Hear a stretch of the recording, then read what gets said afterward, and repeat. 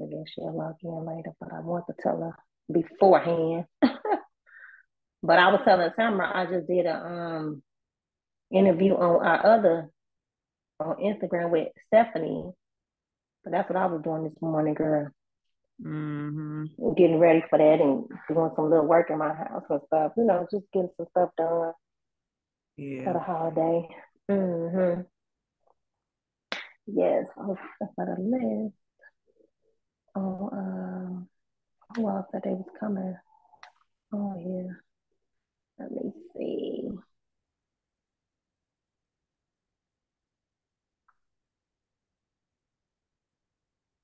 Oh, yeah. Okay. Couple more people. Stephanie, she's still doing her lot, her um interview with somebody else, so she'll be in in a minute. And then I've got probably Lasandra is here. I think couple more people. Crystal. Um, um, about one, two, three, one, two, three, four, about five more people. I'm gonna give them a couple more minutes and then we can go ahead and start. I know it's our different little time zone. We at one o'clock. I mean, not three. We at three o'clock, not one o'clock like we normally do. But um, I didn't know what time the interview with Stephanie was gonna be over with. That's why I said let me just bu- bump it up to three. So that's why I did it like that. But we really was only on for twelve thirty. But I didn't want to just jump right in. I said let me get a break, and I had lay down for a second and stuff. So Yeah. yeah, still early in the afternoon. Be on here for a minute, talk about this, and still enjoy the rest of y'all day. Everybody sure off work tomorrow. Mhm. So I'm gonna go to Champaign and visit my sister tomorrow morning. Stay down there for a day and then come on back tomorrow night. Oh, okay. hmm It's only about a couple hours away, not that far. Yeah. hmm Yeah, girl. You finished reading the book, right, Michelle? I read uh the majority of it. I was taking my time reading it. It's it's more of a um, you know, it's more of a, a um I didn't want to rush through it. I really just wanted to read it and, you know, have this as one of my toolbox things. I already Mhm. know, I already know about him, but yeah, I like Right, it. right. So yeah. Yeah, yeah. So yeah, I was uh once you said you was gonna come on, I I had start back reading it. You know, I had kind of stopped. you know. Right, because I know you was like, well, I ain't, we ain't discussing it, so I'm exactly. gonna do it when I feel like it. Exactly. hmm Yeah. Yeah, Exactly. because I sure wasn't gonna do it. I was like, no. Mm-mm. Then I said, you know very important. I'm glad you did. I think it's very hmm Yeah, because I couldn't figure out how I was gonna do it. Because I'm like, well, if we going out, you know, it's September. We got to move forward. We ain't stuck on that no more. You know what I'm saying? Yeah. But then I had said, but then I had said, well, when we come on, like now we can discuss it. But I was like, no, that's gonna be too quick. We need to have a real discussion. Yeah. So I said, you know what? We can just do it a week after book club because then it'll still be fresh on everybody's mind. You know what I'm saying? So and it Mhm. gave people a little more time to read too if they did not read, you know. So it was Right. good. Yeah. Yeah. Yeah. So I'm gonna give them one more minute and then we can let's go on. Okay.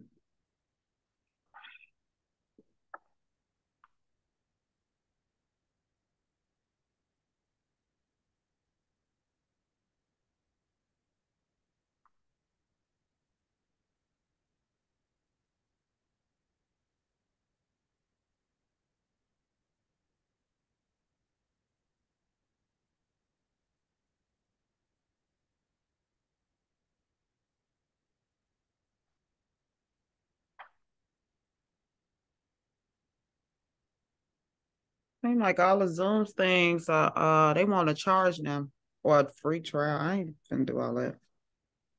Right, nobody doing all that, nobody paying no money. Exactly.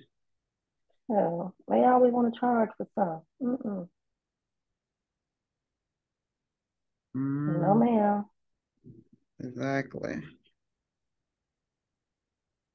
No ma'am, no ham, no sauce. mm.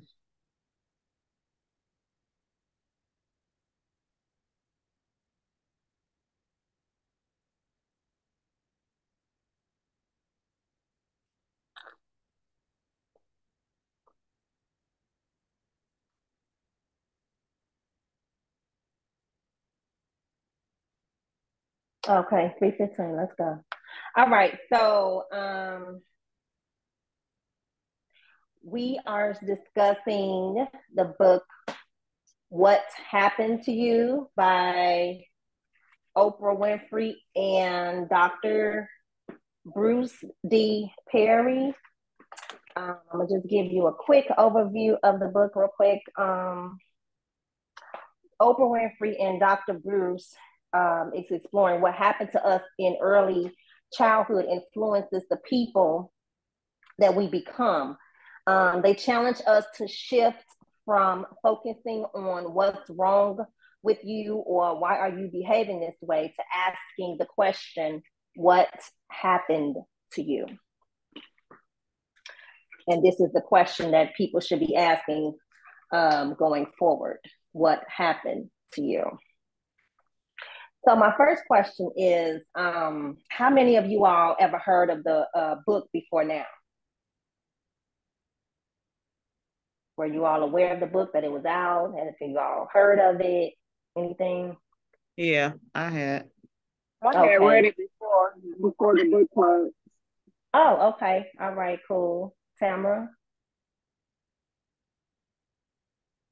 Also, no. I want to introduce Tamara too. She's actually a new member. Um, this is her first book club discussion. Um, she's one of my high school um, classmates. so yeah, uh, so I'm happy that she's joined us. But yeah, Tamara, have you heard of the book? Did you ever have heard the book before?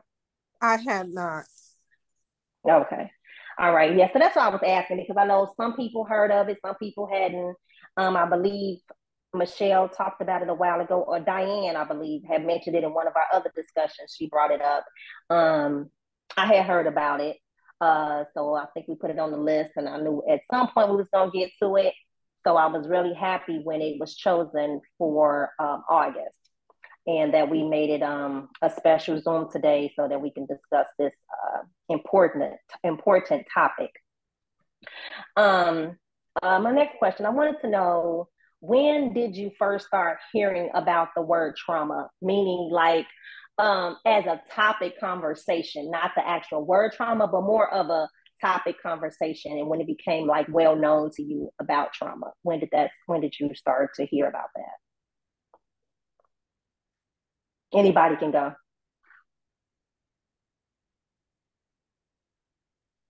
Um, well, I'll go first. Um, I started hearing about it. I want to say um, when I was watching Oprah, I really want to be honest and say I think I started hearing more about trauma and people personal experiences while watching the Oprah Winfrey show. Um, she, you know, she's talked about trauma for the last 20, 30 years on her show. And during those years, I want to say probably in 2000, um, early 2000s, I started to dive in and listen to her conversations and her um, sessions. And um, she talked a lot, of, a lot about different topics. And I think that's what draw, draw me to listening to Oprah because at first, you know, we was young, we didn't really listen to Oprah like that. But as we got older, um, she started tapping into a lot of different important issues that you really wasn't hearing from a lot of other people in their platforms. Um, they was telling their personal experience. It was raw and they was just giving all the information, you know, and things that you were really surprised to hear people was dealing with, going through.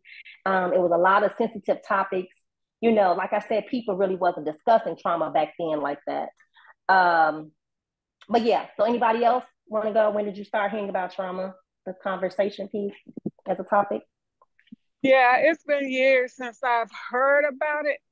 Um, 15, 20 years ago since I of the topic of discussion, but it's been maybe within the past 10 years that I've really started taking notice to the word and exactly what it means in regards to certain and different things. okay. I'm walking, y'all.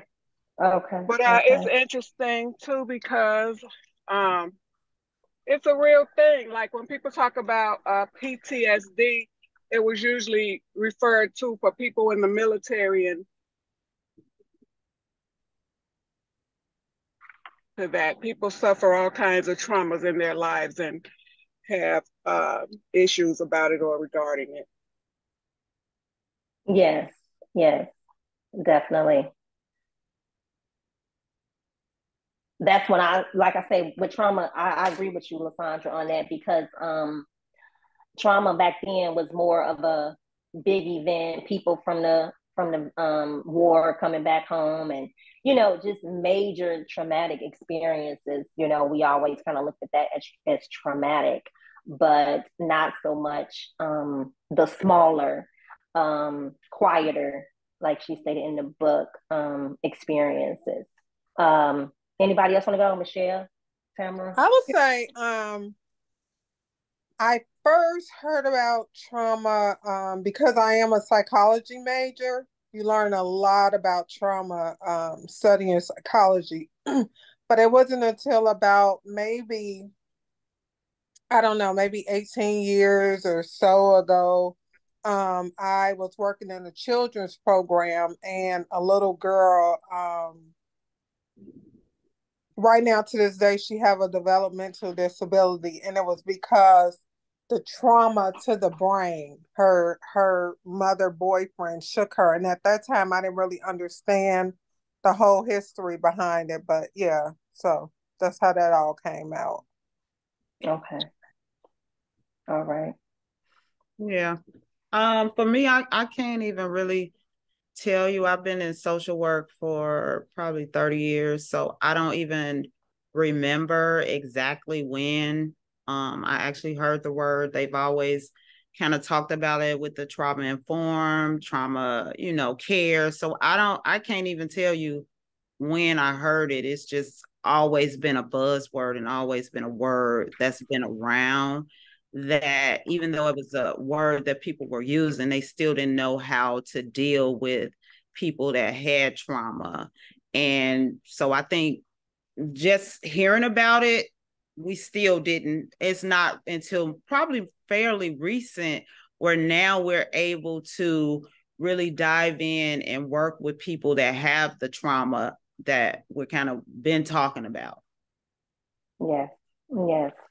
Um, like I say, it was different for me. You know, it wasn't nothing I learned or nothing like that. You know, I learned it from the media. Like I said, watching Oprah Winfrey. So, so you all had a different type of way of tapping into uh, trauma. You all learned it in school and, of course, your courses and all that stuff. So that was good too, which was many years ago. Um, I just wanted to, like I say, just touch and see when did people start to hear more about it because even in the book they stated trauma wasn't talked about back in the day. And I thought it was um, surprising to hear, like, man, Oprah been talking about this 30 years ago. You know, that's been so long ago, you know, and back in the 80s or late 80s, like you said, people weren't really talking about it. It was more of a, if they were talking about it, it was more of a quiet uh, conversation, one on one. You know, it wasn't as, um, I guess, put out there like it is now you know it's it's just it wasn't as popular like it is now that word trauma is now it's everywhere everybody's talking about it you know it takes us a while to kind of get on board with things you know or or just um you know talk about certain type of issues and like i say um we as we today we are talking about more issues and reality issues that that we're dealing with and far as children um, adults, we're talking about more sensitive topics now than we've ever had. And I'm definitely happy about that. Um, I've had conversations with my friends, you know, like I said, talking about things one on one over the phone, things like that. But um, when Oprah came out with this book, I was happy about that because now we have some type of uh, guide to go by. You know what I mean? Um, I don't have any trauma books. You know, I'm sure you all, because you all went to school dealing with trauma, you all probably have books and all kind of um, things dealing with trauma, but this is my first trauma book, you know, at least for dealing with a doctor having his intake on it. I would say that. Um, also, I wanted to acknowledge that Dr. Perry. he was he's also from he was um, in Chicago. He lived here for a while um, back in the day. I thought that was amazing. Like, wow, he was right on the south side. Okay, cool. I think um, at yeah. Loyola too, where I went. That's how. Oh, I, okay. Yeah. Okay, all right. Yeah, mm-hmm. he's actually a um a child psychiatrist. Um, he studied the impact of stress, stress and trauma on development, and he's a neuro neuroscientist. Um, he studied the brain and stress stress response system. Um, and of course, we all know Oprah, so there's no introduction about her. Um, I don't really have a lot of questions today. I just really wanted to tap in and just, you know, pick out some things from the book um, that was relatable or we could talk about and discuss um, some important things from the book because there was so much information.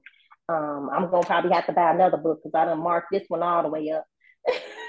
so I think I'm gonna buy two books. Um, but that'll be later on. But yeah, so um, we can start off with Oprah, how she was very transparent about her situation as a child growing up. Um, I'm not sure if everybody knew about a thing, a lot of things that she spoke about, but I do remember hearing some things. Um, her talking, of course, on her show about how she was abused as a child and some things she dealt with with her parents. Um, but in this book, she delved a lot more deeper into things that she was dealing with as a child. Um, she wanted to um, her her main focus of having the Oprah Winfrey Show, she wanted to brainstorm solutions in the issue of child abuse. So her whole, like I say, 30 years of uh, learning about trauma and talking about it, that was her main focus. A lot of times on her show, dealing with some type of abuse, all types of abuse, you know. Um, and like I say, you know, she had the world listening to her, so everybody opened their minds and was dip, actually listening to her, you know. Um, she talked about abuse, she talked about neglect, um, and healing. That's the main focus, also healing with her. That was her entire career, her focus of those um, aspects. Um, but she also stated, you know, she experienced sexual, sexual abuse and regular beatings, um, which made her become a people pleaser. She spoke about that in the early part of the book. Um, so we can just talk about that for a minute um, with Oprah.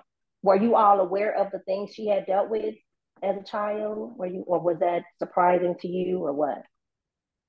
No, I'm very familiar with Oprah. I really watched her show and I liked her, you know, so um the things she talked about in the book I kind of was aware of, but I like how she was able to piece together certain things like that instance with her grandmother and her uncle and how she didn't really realize that, you know, how she was, you know, fe- didn't feel safe uh at night and mm-hmm. how she mm-hmm. was able to make that connection. And sometimes when you make the connection, that's when you get that awareness, that is when you actually can move past certain things, when you get that awareness. And I feel like with her really getting that awareness, she like, oh, okay, so she can really tap into that piece and work on that mm-hmm. piece instead of just, I don't really know what's going on with me. Well, what's happening? So I, yeah. But yeah, I like yeah. how they kind of played off each other because she was like more of the everyday person talking and he was you know he will give his uh more scientific more uh professional uh judgment and experiences. So i liked how they kind of played off each other and showed it in different colors. I think that was a great mm-hmm. one i don't know how it was in the book but yeah it was like that. Okay yeah it was like different colors and I, it's a great way to kind of like uh to bring people, you know, to bring it more uh relatable. And that's why I like Dr. Perry books because he is his books are more relatable where you it's an easy read. It's not so technical that you like, I don't know what the hell he talking about. So exactly. Think, yeah.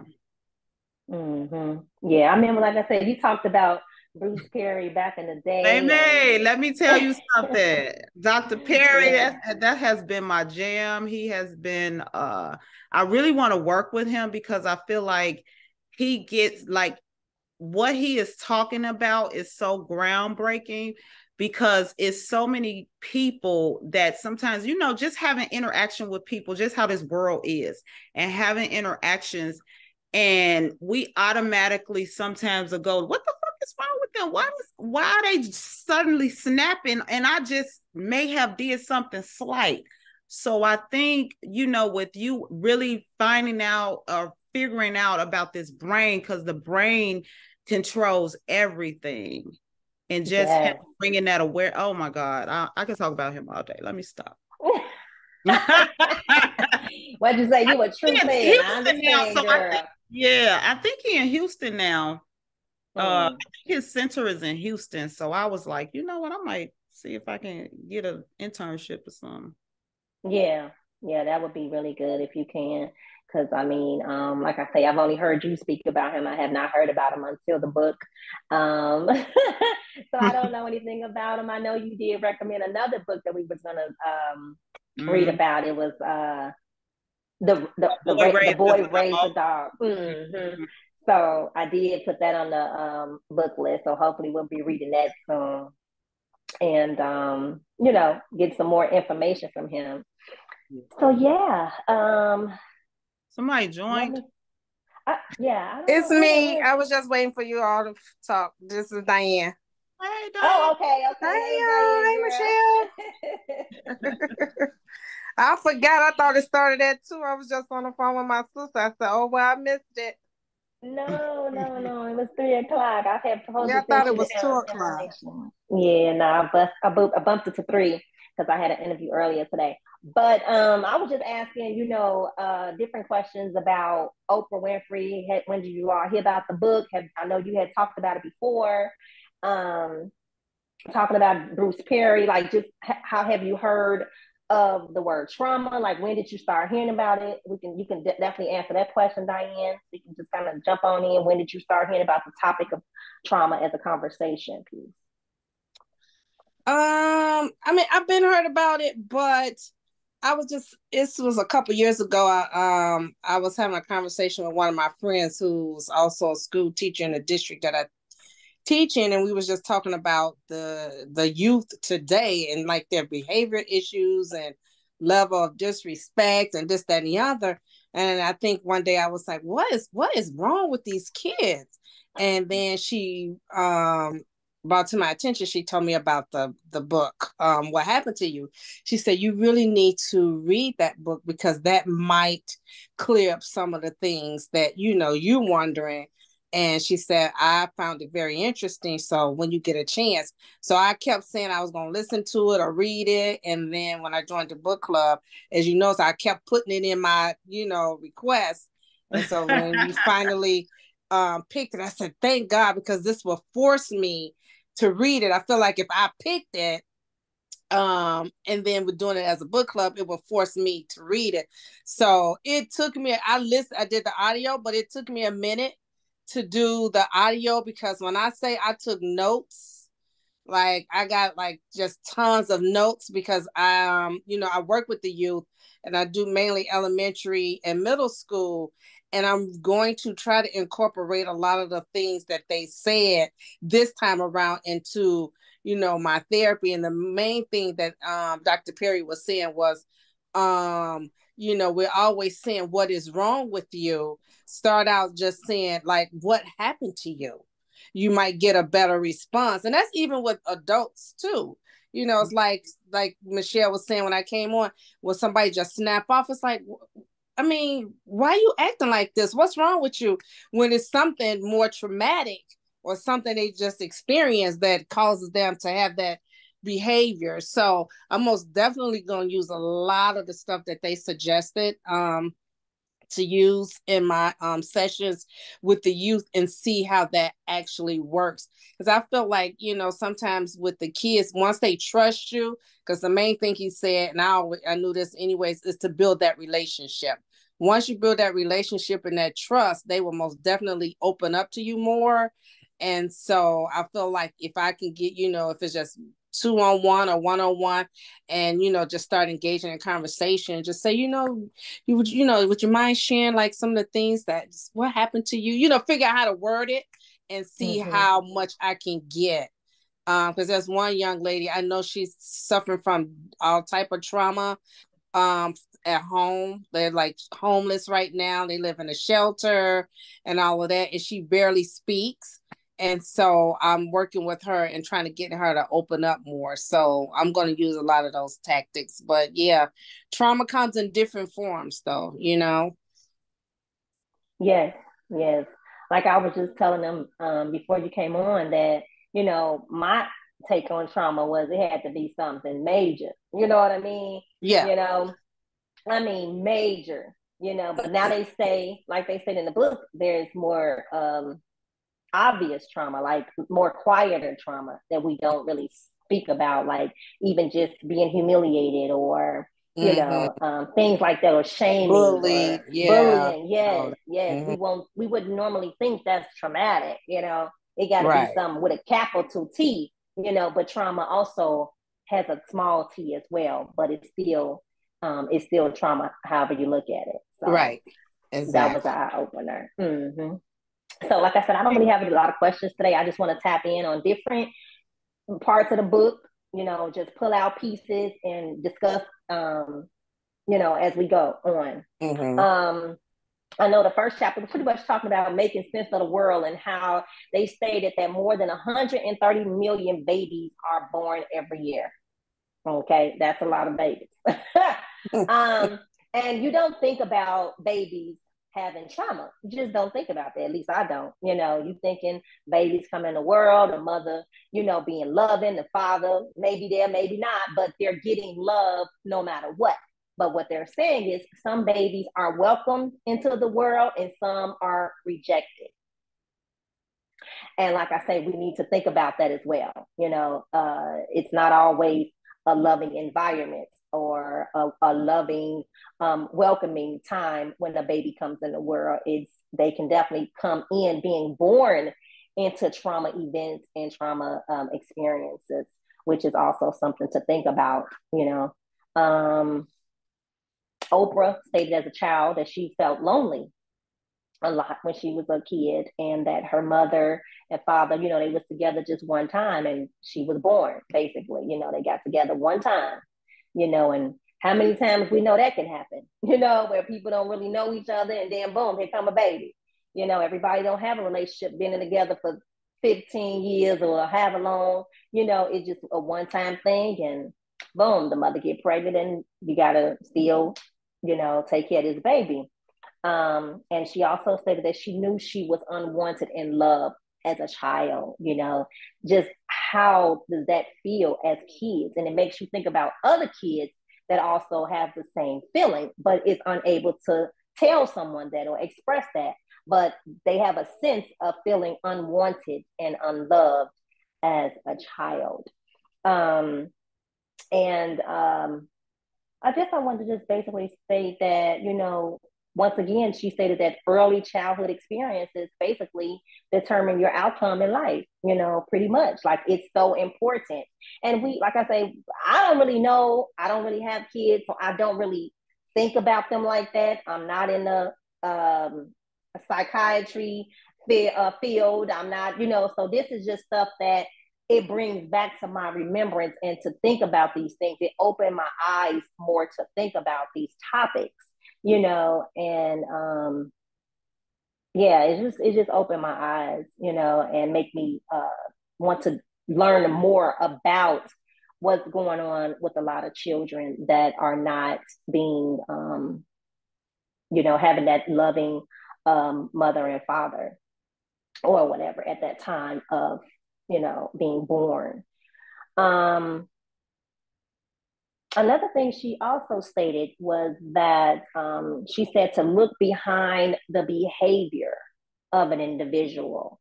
We always just look at that person, and like you said, Diane. It's like, man, what's wrong with him? Why you act with that child? No, he bad. Oh my God, he is like, you know, people say all kind of things, and we don't realize how how it affects the child at that time. We just saying stuff as adults, you know, but really what we're saying is effective to them, you know.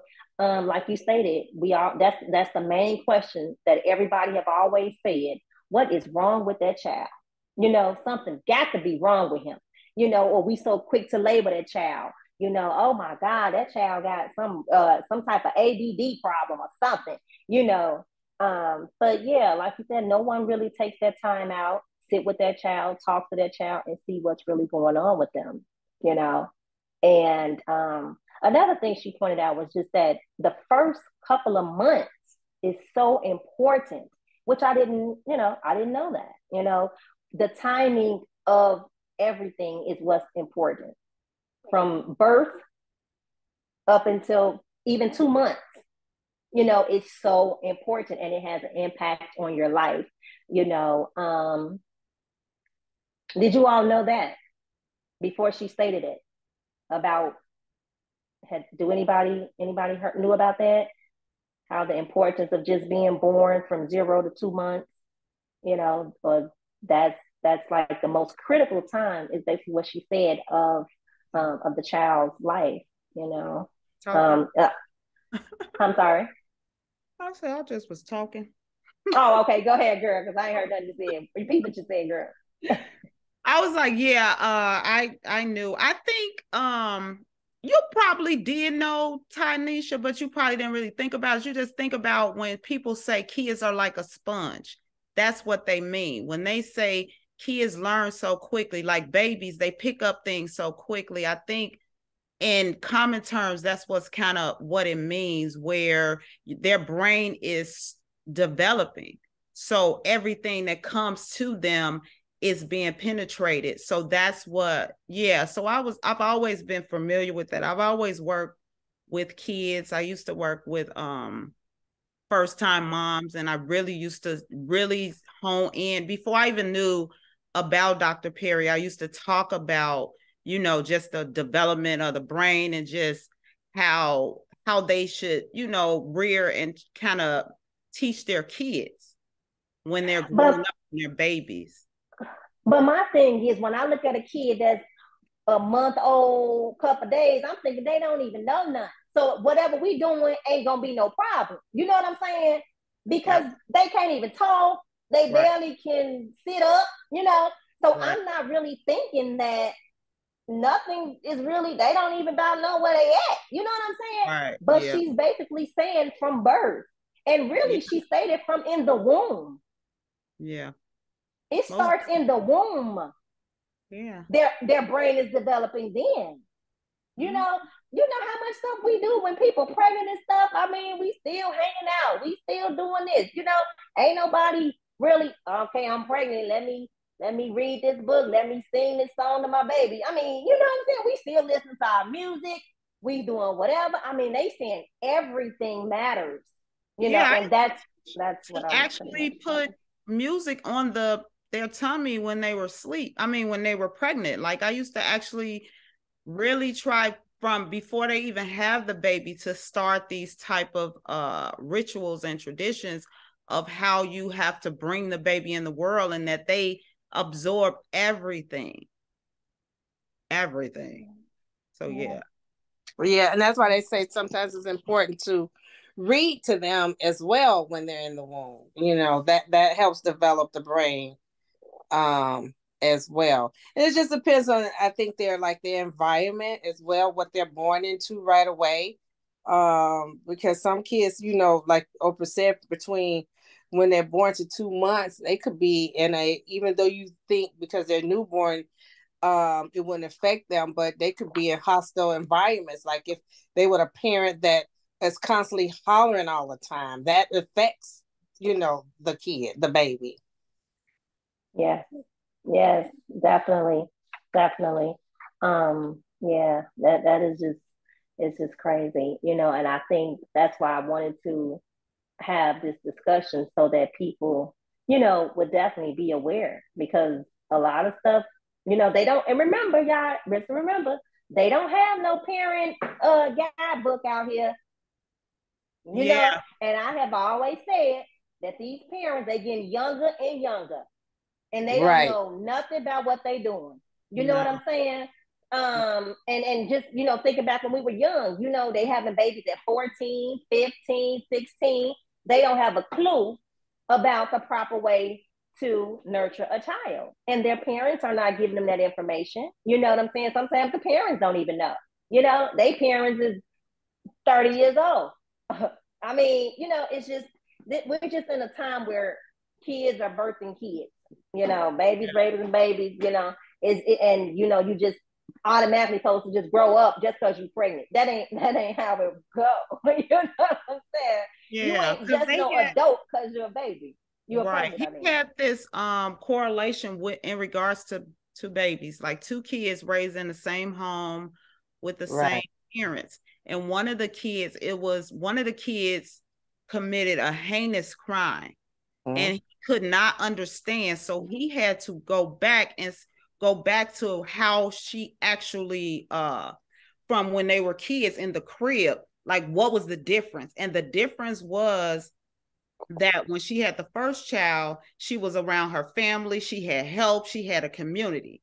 When she had this second child, they moved away. So she literally did not realize that her she left the baby in the crib all day while she took the oldest kid out to the park or to whatever where this kid that was in the crib had to learn how to self-soothe. So she didn't mm-hmm. really realize that you have to sh- have interactions with babies. like you said, when you have a baby, you got to have these interactions. You they got to have, you know, some type of contact and human connection for them to mm-hmm. learn how to be able to self-soothe because initially they shouldn't be able to learn how to self-soothe. They need the the human to kind of teach that. And so it was just funny how he just showed just the difference because sometimes you may look at how kids in the same household like how are they so different and that was a a, a real polar opposite it was crazy but um but that was in his other book but yeah that was just um just how you know just how kids are raised and just how not really knowing and like you said with these kids getting younger and younger and we just sometimes assume you should know. You should know that. Like you should know you should pick your kid up when they hungry, when they need to be fed, when they need to be changed. And if you're 14, you just you might not have that thought processing to see when a child is hungry, I should feed them. When a child is wet, I should change them. But to, you know, most people they'll be like, like that's common sense. But some 14 Right. may not have that Common sense. My pastor say common sense ain't always so common to everybody. So Yeah. right, and and we and we quick to say that. I mean, that's just common sense. Like, come on now, who who, who would Yeah. know that? Well, Yeah. really, they apparently they didn't. yeah. You know, so it's being more understanding. But now that I've listened to this book, it, it really, you know, makes me step back and starting to look at things in a different perspective. Like I have, you know, a friend now that's like a, a, a person just kind of combative. And now I'm thinking about when I listen to the book, you know, I wonder what happened to this person. I'm gonna have to sit mm-hmm. down and talk to them because something happened that I don't, you know, we never talked about because it now it's just really starting to make more more and more sense Yeah. For sure. Yeah. I think even when he talked about um sorry, when he talked about um the kids that may have been triggered by that old spice. Like it's just even stuff like that that you wouldn't even you'd be like, dang, I didn't know that. Like that's something that's just so small that you wouldn't even think that a kid will react off of. But like he said, with that brain part and just him talking about that lower part of the brain, Mhm. we don't even have we can't even go to that rational part. To me that was just so profound because when you're at that lower part and you're just reactionary. You don't you can't even think common critical none of that. So just seeing how you interact with people and when they're in that state you can't talk to them rationally. You can't get to them because they're they're they're now, like he said, they're in that fight or flight type of right situation where they can't even go to that rational piece of their brain to say, let me calm down and have a conversation with her. If I keep going off, I might get in trouble. If I'm in school, I might get suspended or expelled. If I'm talking to a police officer, I might get arrested. I might go to jail so it's like they can't even get to that part of the brain to bring themselves down to think rational, to think of the consequences that may occur with this outburst. Right. Yeah. And that, and he was saying like, you know, if you're angry and hostile all the time, you know, it it comes from the like you said, the lower part of the brain, which is like the cortex. So you can't even regulate, you know, get to the regulation because again, you're so busy um like you say fight or flight off of just if you're always angry so mm-hmm. you have to try to figure out how to get to the higher part top part of the brain in order to you know um, form some type of regulation and right. that and you know once it, and i heard that i was like oh you know that makes sense and now that i start thinking about kids that i work with i was like because you know you you be thinking like this kid just ain't gonna get it but they can't get it Mm-mm. because they can't get to the other part of the brain because they're so you know defiant and so it's like you know now you got to try to figure out just ways to get them to calm down and relax so that you can move you know get um from the lower part of the brain to the top part of the brain and that's even in uh, adults just people i guess in general you yeah. know yeah because um when you said that about the regulation like just it wasn't until I I was in this uh internship where I was with a multidisciplinary team where I was able to work with multitudes of people. And so we really was uh trying to teach how to regulate the emotions and the behavior of mm-hmm. people. And so just that piece where people like even in the schools they really have to that's the piece that's missing that they Absolutely. have to regulate the kids emotions and behaviors before you can get to the lesson because if they anything are else? they can't they can't process anything else. And and just it's just small things that you can do to get the kid to regulate. Mm-hmm. Yeah things. Yes yes. Hi uh somebody just joined. Hey stephanie. This is another new member Oh, um, this is her first time having um joining the book club as well as Tamara. So hey Stephanie. She's the one I did the interview with earlier today at noon. Okay. so welcome, welcome, welcome, ladies. All right, so yeah, just jump on in whenever you have anything to talk about. We're just picking out things from the book that has, you know, stuck out to you, or just going through the book and just picking out things that we can discuss from the book as well.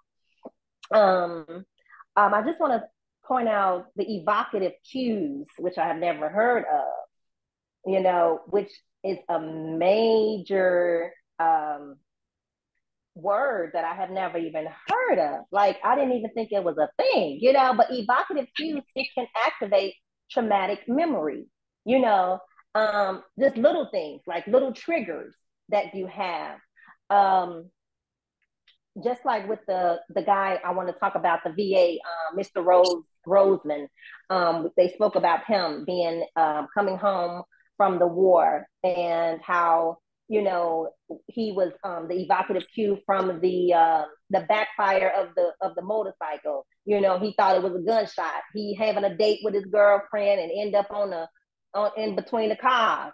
You know, I know she was like, "Well, what the hell is wrong with him?" You know, I mean, ain't nobody shooting, but his man went to straight. He back in war. You know what I'm saying? I got the hat, I got the duck, I got to stay alive. He went in combat mode, you know, trying to, well, I should say survival mode, you know. And um, you know, I like how he took his his girlfriend or wife, whatever, to the to the therapy with him and said, Doctor, can you tell us what's wrong with me? You know. but he broke it down and told him, you know, it's not that you something's wrong with you. You just like you stated before, we talked about the brain stem, you know, you just reacted, you know, from whatever past experience because they stated that the when when you have a trigger, it comes the, the past experience is what first connects to that trigger. And it, like you all stated, it takes a while to get to the cortex, which I didn't even know that. Because you know, baby, we ready to fire off there in a second. Somebody piss us off, we ready to go there. You know what I'm saying? But they also stated if you can just have a few minutes, you know, to just calm down, have a just take some a, a few minutes, a few moments of a space, and just think about what's going on and reflect, so you can get back control of yourself. You know, so um, and and the funny thing he stated with the um the diagram that he used, he said he used that just one time within therapy, and he's been using that for the next 30 years, the model of the brain. And I think that is so good because it helps you to understand, which I didn't know that, you know, there was even a brain stem that it had that we think from the bottom up, you know. So um, do anything anybody have to talk about that? We was talking about that before you came, but Stephanie, did you have anything to say about the model of the brain or well not necessarily the model of the brain but the part about um, just understanding the need to tend to the child in in these ways prior to them being able to be taught. It's been like a part of the practice for me the last 20 years. Baby, how you doing? You know, like tapping in with the child first. I didn't have the words for it. And I, I tell you, when I went in on Friday, I, I told my principal about, about the book. I was like, I think this should be our PD book. I'm not going to be on staff this year, but I'm like, I think we need to go back to this principle and really get on the same page, having this lens because we have children that are in high need. And I'm like, the whole first, well, the second and third chapter in particular, I'm like, yes, this part. Yeah. What's mm-hmm. wrong with this, this child, this baby of ours? But what happened? What happened? We have a transfer school. This is this is what we're dealing with, you know we need to check our the our entry point and tend to some needs that have to be met before we expect any learning to be able to happen period. So yeah that's really been sitting with me since i started it. Thank you for asking. Yeah yeah definitely no problem. Thank you for that. Um but yeah um i just wanted to also point out um that they talked about anything new will activate our stress response now we all know when we in a new environment, you know, you feel in a certain type of way, we just don't be comfortable, you know, and just the feeling of unsafe also activates our stress response as well. You know, a fear, um, a new environment, um, new people, you know, um, anything new, you know, whatever it is, whatever whatever it may be, it, it, it activates our stress response. Um, and you know, the unknown, you know, we always want to be what's around what's familiar what's our norm, you know, um, because when we are around the unknown or um, it happens to, you know, we just happen to be somewhere where uh, something new happens or I guess an unknown experience, you know, God knows what it could be, but it causes us to feel anxious and overwhelmed as well. You know what I mean? So, and then he because he speaks about that fear it shuts down our thinking and amps up our feeling, you know. And I was like, this is so true. You know what I mean? We scared, we we trying to, you know, hide the cover, you know, we just I mean, fear is is no joke, you know.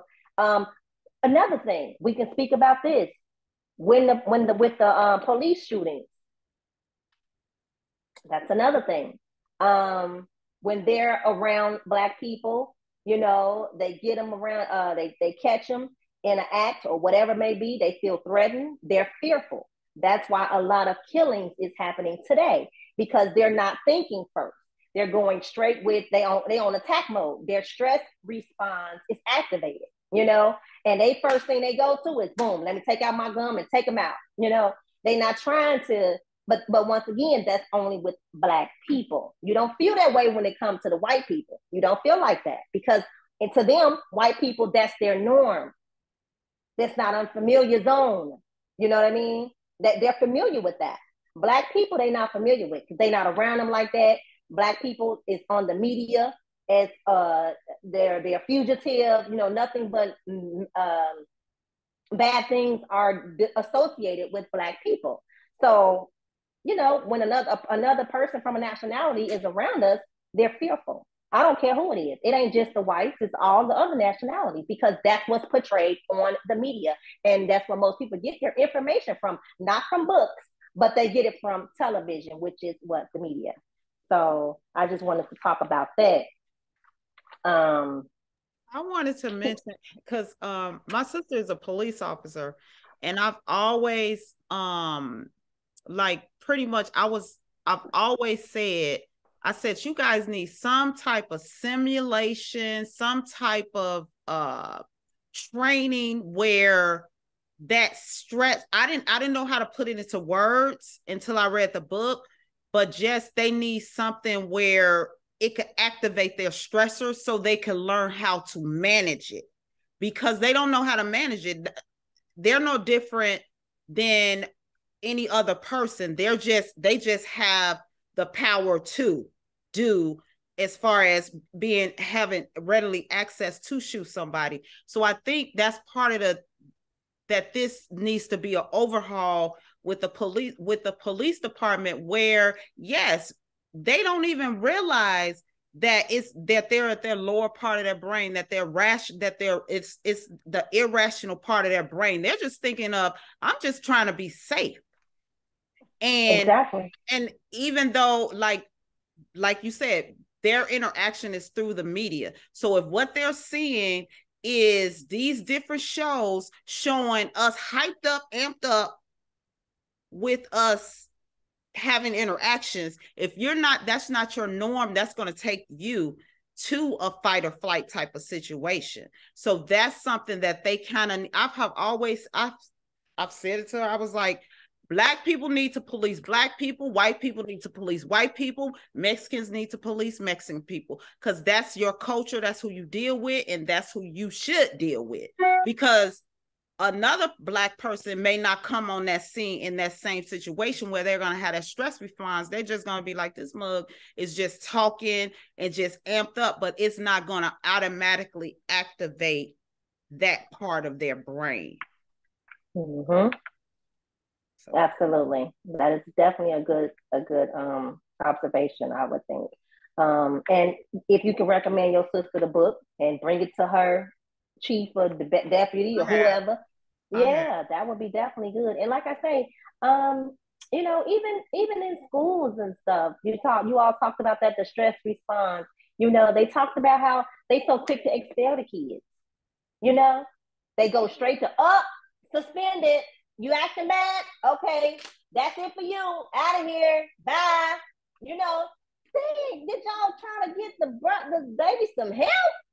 I mean, have anybody talked to him without going straight to the the the protocols, the, the guidelines. Uh, it, this is well, this is what happens, and this is the this is the result. Okay, this is what you do. Well, then this is what happens. Okay, wait a minute. These are children we're talking about here. They trying to learn just like everybody else. You know what I mean? They're babies. I mean, but they treat them, you know, but everybody is so want to go by the books. You know, that's what they want to do. No one wants to go deeper and and figure out what's going on. That takes too much time. We ain't got time for all that. You know, you need to do that and go to a therapist. This is school. It's something different. No, it's all the same. You know what I mean? It's it's an institution. Is what it is. You know, but um. Oh, so sorry. Um, no, no, no. Go. Go ahead. Anybody? Oh, I was gonna say I, I see at the root of that that same fear response. So, you know, like on the ground floor, it is it has been evident which teachers are actually afraid of our children. They're not seeing them as children at all. And they're entering the space from that place unknowingly, unaware, and it is playing out. And so then the responses are those by the books because we're not even thinking, we're not identifying a child in front of us. It is a whole different thing that's playing out, you know, and I and and it's not it's systemic and it's also I think attached to these narratives that we were already talking about and they're all playing in accordance with one another. And I think this is like the shift in this book is I think an opportunity to interrupt that. Yes. You know. Yes. Yes. And it's a learning curve for everyone involved. Absolutely. This book is for everybody. I don't care how smart, how many degrees you got.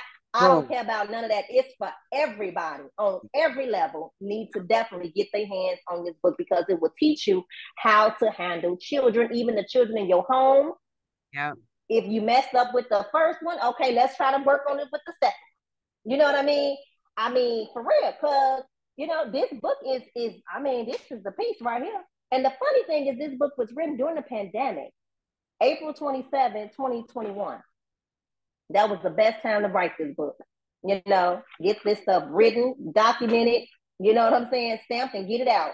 Like I told I told them earlier, I'm buying two copies because I done marked the first one all the way up. I need another one that look a little better than the first one. but yeah. Um, next point I wanted to discuss about how she stated remaining in a constant state of alertness can have a diversity effect on your health. Now that's one thing I did not know, you know, how adversity can have a effect on your entire health, you know. Um, yeah. Diane, go ahead. Well, no. Well, um, what I was gonna say, actually, um, so this past Friday there was a kid that, um, and I still don't know exactly what happened. I won't find out until this weekend, but he got angry at a teacher and he found a metal object and he stabbed the teacher. And so she had to go to, you know, she had to go to the hospital. So, you know, and those are the things that teachers are dealing with um in the classrooms now because the kids have such you know just different type of behavior issues and impulsive behavior as well and so you know a lot of times they try to go by the book and um you know in theory but again i think this just this particular book right here will really help break down some of those things and things tools that they can use um when you know when certain situations like that you know arise.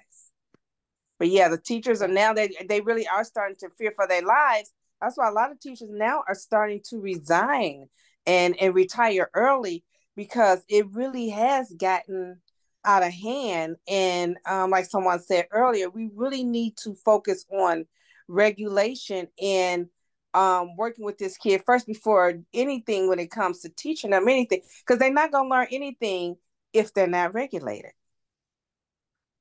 Exactly. Exactly. And this is new to me. I'm 45 years old. I ain't know nothing about no regulate, no nothing. Okay. You know. Yeah, well, we're dealing in different time. You know, we're at different times yes. and dealing with, and and yes. kids are just even in their homes. A lot of it is coming from their experiences in their homes. So you know, we got to start there too. Yep. Yep. They say this uh, regulation begins in the infancy. You know, when they're infant, you know, mm-hmm. you have to regulate them starting there you know, and um, they talked about stress takes us out of balance and then we become dysregulated. So a lot of these children are dysregulated. And like you all said, if the parents is dysregulated, how the kids gonna be regulated? You know what I mean? If it's starting from them, you know. Um, so it, it's it's a, a two in one. Everybody gotta play their part and do what needs to be done, you know. And like you said, it starts from your leaders. If you're in school, it starts from the teacher If you're at home and start from the parents and so forth and so forth.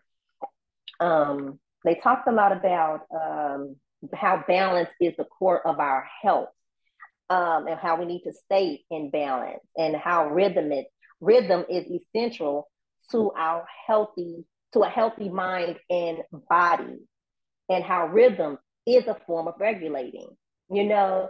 Um, i didn't know that. And actually i just started you know basically walking probably I think um it's been a couple years now, you know, but I didn't know it was anything dealing with regulating and rhythm. You know, it was just something I wanted to do and I do enjoy it. You know, everybody got their own thing. Some people ride bikes, some people go work out, but all of that is still rhythm, you know, and it's still health um, essential to your body. Um, and uh, they spoke about regulating.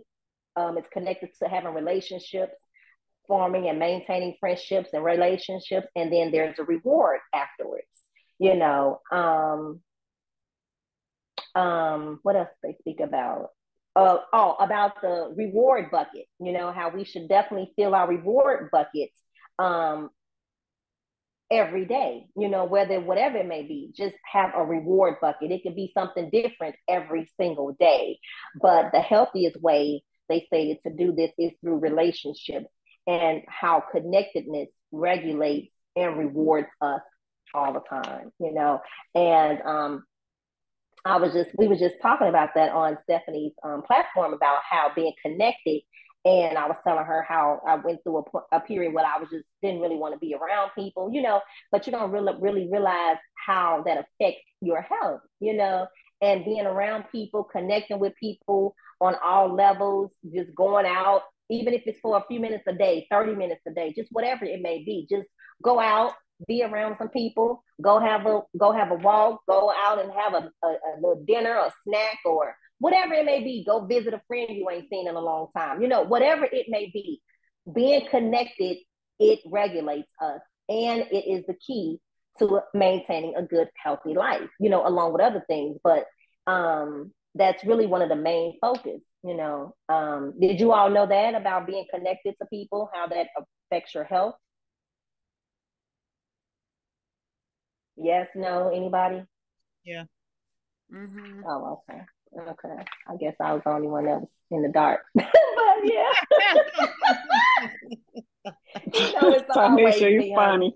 I, I be thinking I know you lot of you but... you've been in the corporate world. That's why I think a lot of us kind of been in human services, teaching, like so that might be why we kind of like have some of the knowledge. I've been in uh I've been doing this a long time. I used to be a, um, work for uh child welfare, so I've been investigations. I've um taken children out, you know, um uh, what's it called? Caseworker, where I'm actually working the case, trying to get the kids back to their bio mom. So I've done, you know, I've worked with kids pretty much my whole career and so i'm used to a, a lot of things that i didn't have a knowledge like we who know that literally this is what we need to be teaching our foster parents that have these foster children so they can learn how like like the uh like one of the stories she was in this story too mama i can't remember her name mama she had the she had the mama uh, p. Mama yeah she had the mama she was in the other story too she had the mm-hmm. mama and she had the daughter. And just how she didn't have the knowledge of the brains and all that, but she knew how to nurture. And with her knowing how to nurture, she was able to bring that mom to be a better caretaker for her child, to make that child be able to rework the brain, rewire the brain to uh, be able to be more resilient. And so just that piece where we really like a lot of the foster kids, they come into the system and they having all these problems. They have so many diagnoses that you don't even know which diagnosis is the real diagnosis because every time somebody touch them, they're going to diagnose them. And so with that, when they come into these foster homes, these foster parents know that they're getting a foster kid but they don't have the tools most of the time to deal with these kids that may have these explosive outbursts and interactions where instead what they do that kid got to go. That kid got to get out the house. So now we got to go through the cycle again where we got to deal with a kid. They got to go to a new placement now down here in texas these kids ain't even got nowhere to place. They literally are in what's called child watch where they or are, they keep them until they get a certain age mm-hmm. and then they give them back away. Yeah. Because by that time when you when you eight and may have explosive explosive behavior versus when you 16 and have explosive behavior those are two different ways that you see because they they they is for sure at a 16 year old when they're explosive when it comes, it's going to come to that foster parents. They're going to fight or flight. So part of it is they don't even have the knowledge and skills to yeah. be able to deal with these kids that's in but there. not only That's that is true. I mean, I work for social services too. I've did it for many, many years. Um,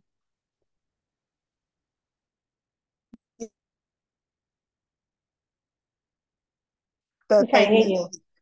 We can't hear you. Repeat that because you went out for a minute.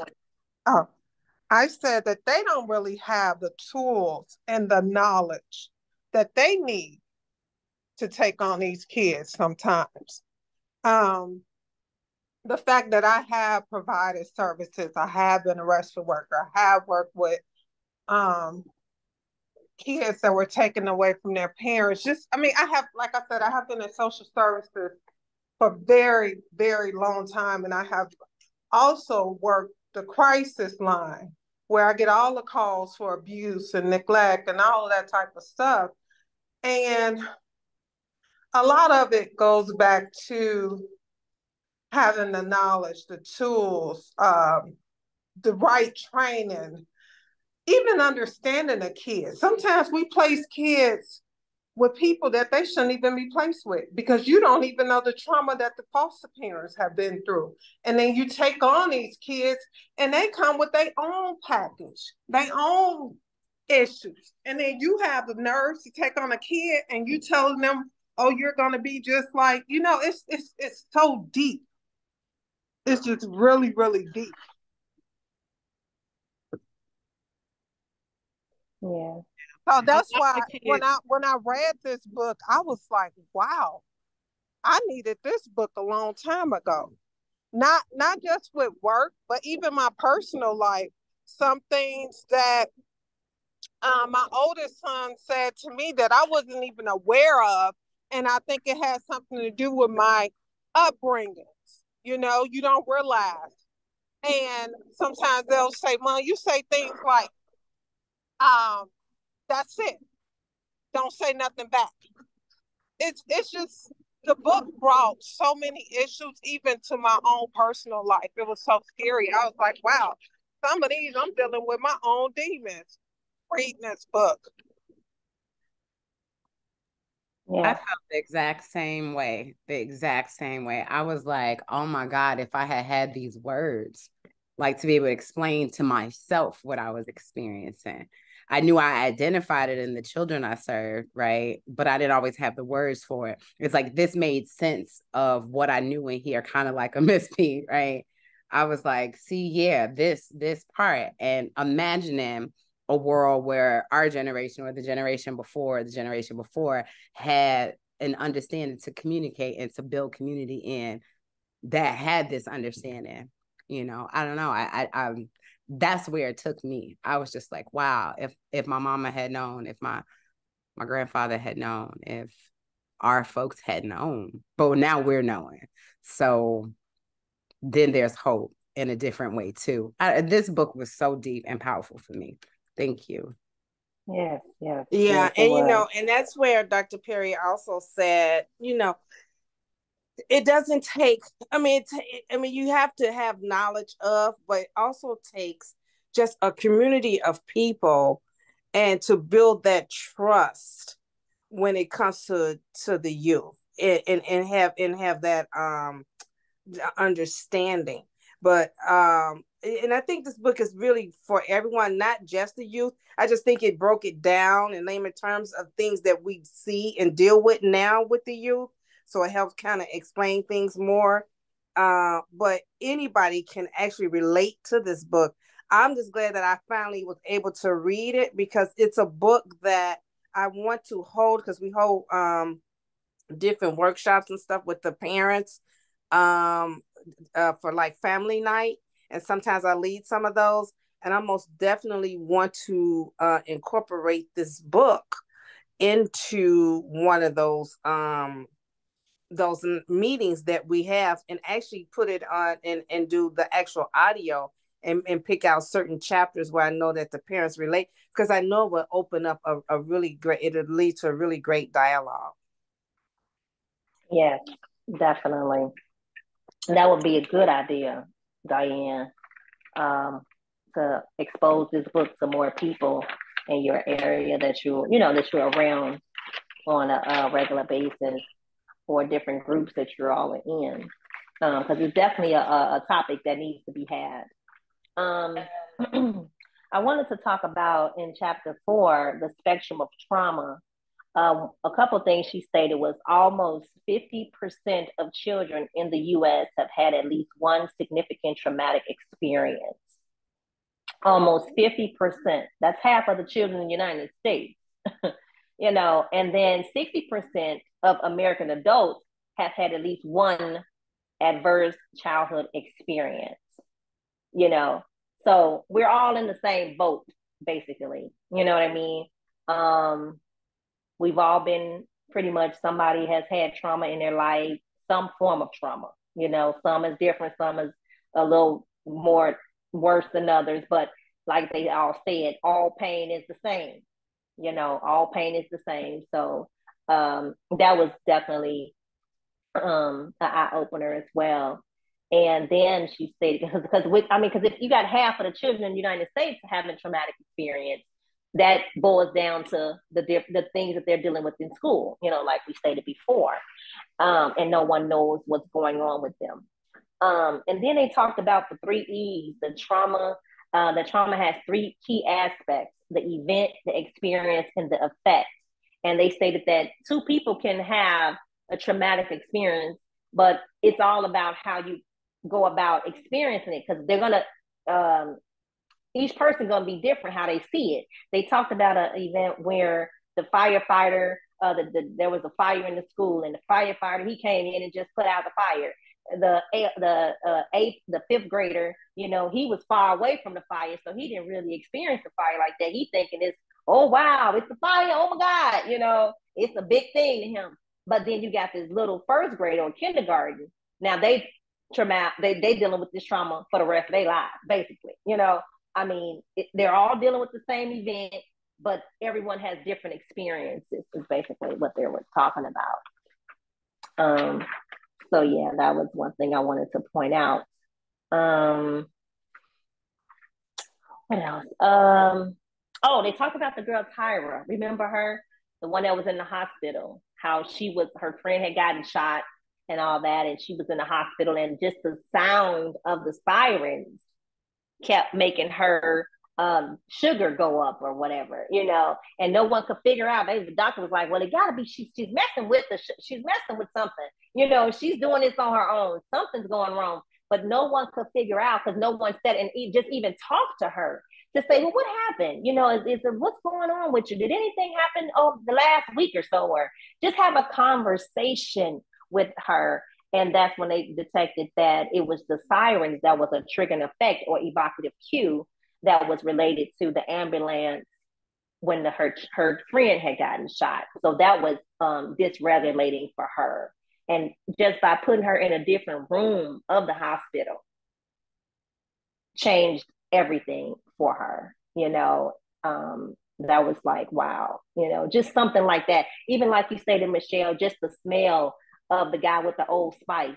You know, they talked about the smell of another child. They put um, the old clothes in front of the little boy of his foster child, his foster father and the biological father, and he was in a coma at the time and made different reactions to each smell. You know, so like you stated, just it, it's not just the memory of things happening that trigger us. It's also the smell, what we see, um, if you was abused by someone with a certain hair color, the features, you know, and you see that person again, and now you trigger, and wherever you may be in a restaurant eating, now you got to run out the restaurant. You know, it could be all different things. All type of your five senses can definitely trigger you at that moment in time.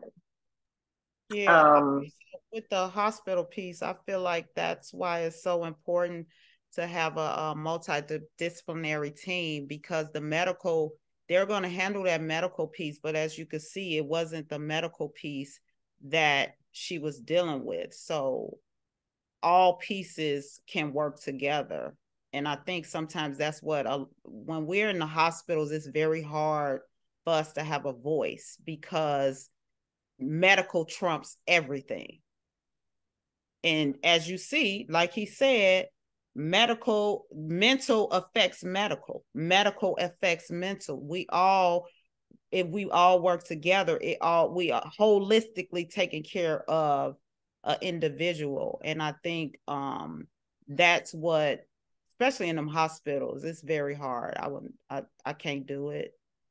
It's very hard for us to be in those hospitals working with uh those nurses and doctors because they don't respect what we have to say. And as you can see, Dr. Perry was able to show them what the issue was by just, you know, assessing her and talking to her and figuring out what was going on. And just instead of just accusing, they do that all the time. All the time.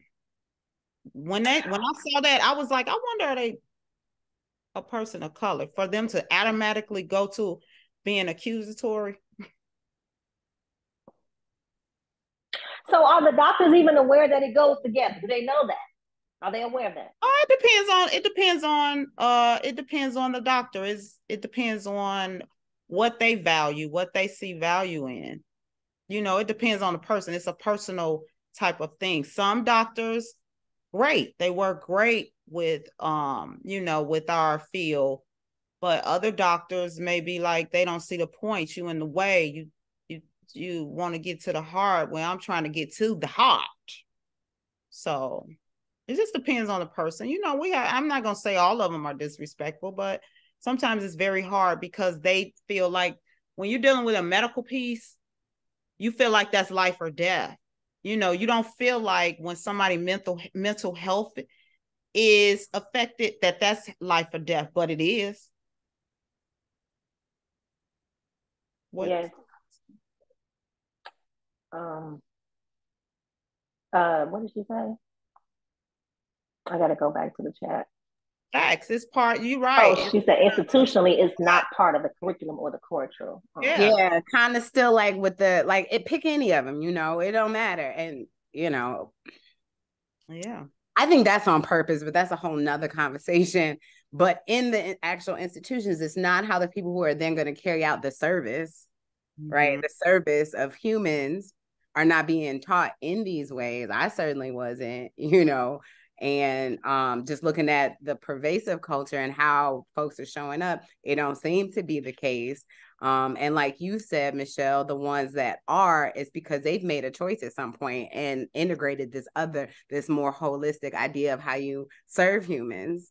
And so they are different, but the institution certainly ain't rolling out folks like that's not a part of their classes as they're being um, certified and licensed along the way and then now they're in this place and dependent on the other parts of who, who they are um are, are not dealing with their own biases that come are not even aware of them and so all that stuff is playing out and there's no no part of the curriculum that is checking it like like it's being suggested here and that's why i'm like look this could change the game in one generation yes let's do this. You yes. know, listen, I've been preaching Dr. Perry for a long time. Since I've heard of him, I'm like, man, if he can just infiltrate so many places, you know what this what this impact could do. Just like, man, he needs to be teaching people so they can so we can just have little pods everywhere. Yeah, I got chill bumps again. That's my yes. yes, mm-hmm. yes, I'm with you. Yeah, my suggestion, especially after this book, they should have definitely been on it. And I, and I, I would think doctors and you know dealing with the mental, dealing with a, a medical part, they should definitely work together. That should be a, a criteria. Like this, you go, it go hand in hand. Once the doctor come in the room, give you your vitals and figure out what your diagnosis is. Okay, boom. Next, here come the psychological therapist, doctor, whatever. Next, you know, it's it's a it's a chain effect for every patient, not just for certain ones. They do that. That's the thing. They do that. We're there, but it's not respected. Like that's we're the bottom. We're at the bottom. So the only reason Dr. Perry was called in because they couldn't figure it out. He was the last resort. Right. It's like just pretty. It's it's one of those things where it's just like um what's the word I'm trying to use? It's kind of like robotic, you know. Okay, okay, well, we can't figure it out, passing on to a mental, you know, institution, let them deal with it. And then they go on to the next person because it's, you know, it's it's part of their proper protocol, but it's not the resolution of okay, how can we work together? So they just pass it off, you know. Okay, well, something's wrong with this person mentally. Pass it off, you know, to a mental institution. Next, let me say this, because even let's say his name didn't have Dr. If he was just Bruce Perry, they might have not listened to him. Absolutely. Mm-hmm. So that's mm-hmm. the difference. It's about a hierarchy. When you someone that's dealing with like you a social worker, I have a clinical social work license. I probably have more more schooling than some of these doctors. But because of how we are perceived, I don't have the knowledge. I had to sit under somebody for two years before I can even get sit for a test for a license to say, oh yeah, you could do this. I had to go to school for some years. Then I had to sit under somebody after I came out from my master's program. I had to sit under somebody for two years before I could test for this clinical license. So when I say put some respect on my name, you're gonna put some respect on my name. I don't know about nobody else. And that's the thing that we have to deal with all the time. Where if he was just Bruce Perry, he might have not, they might have not listened to him either. But because he had a doc, a DR, that made it more impactful. Wow. Wow. Woo, girl. I know that's right, Michelle. Put some respect on your name. I know that's right. Lysandra, when you come on here, you've been on here all the time. Yeah, I've been on here the whole time. I was driving. Oh, but I have been true? listening. Oh, you don't have uh, this your grandbabies? Yeah, them my grandbabies. Oh, I didn't know who that was. I thought that was somebody yeah, else. Me. oh. I've been listening and enjoying the conversation and and it's like it's all so real. Um I was thinking about what Michelle was saying earlier about um, realizing why you act the way you act or do the things you do. Because for myself, I've been in therapy now since 21, since um, the pandemic, and like really into it and trying to discover and realize things about myself so that I can be a better me for myself first and then for those around me. And recently I've had uh, revelations about some things, and it's just like, wow. And I think just because I've been uh, focused on paying attention to myself and why I do certain things the way that I do them. And also, uh, we were talking about like, um, you guys were talking about how kids can be raised in the same house, same family, same rules, and the, the siblings can turn out so different. And that's so true. But I also feel like the village is so important. And that's something that we lost a long time ago. Like yes. some people are still strong in it. And I feel like, like I know a family that's like they real strong and have a, a village, but I've never had that. I've never been a part of that village like that. And even um, to this day, it's like sometimes I, I feel alone. Like I'm lonely in this world. And I'm like, you know, it's not meant for us to be by ourselves without mm. uh, feeling that care and that love and like the genuineness from people. So I think that's um, very important too, even for adults, not just for kids to have a village around them, surrounding them, guiding them, but uh, as adults, we need that as well. At least I feel like I do, and I want it.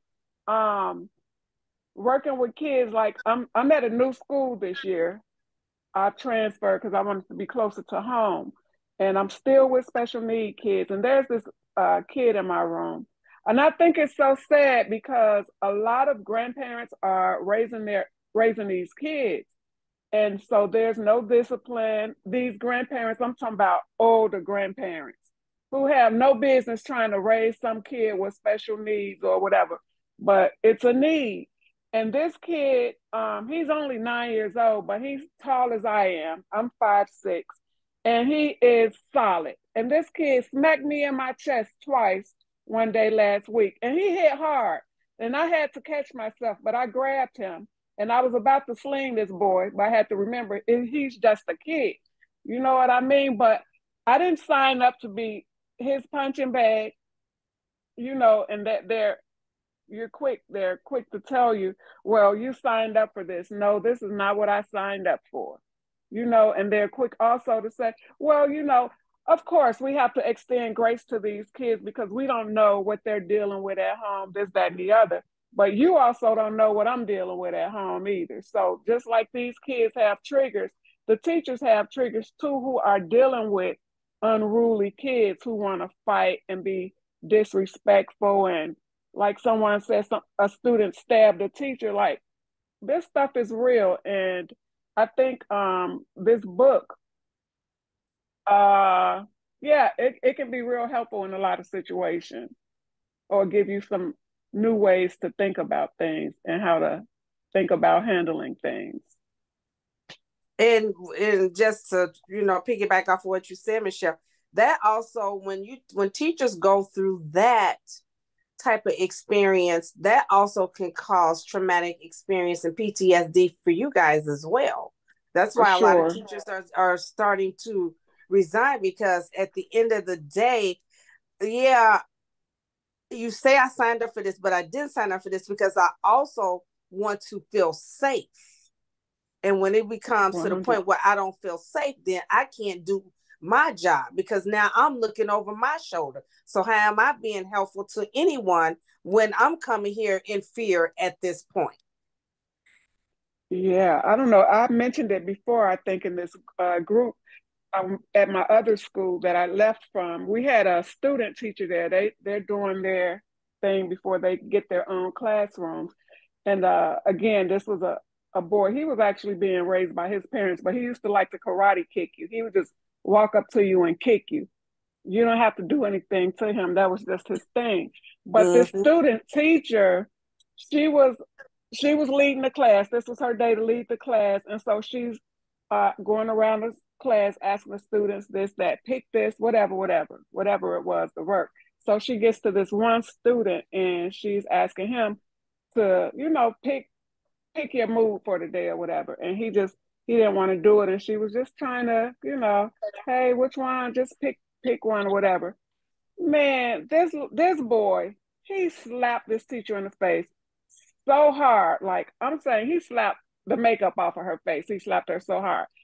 Everybody, including the kids, was silent in the classroom after he slapped her. Like everybody was in shock.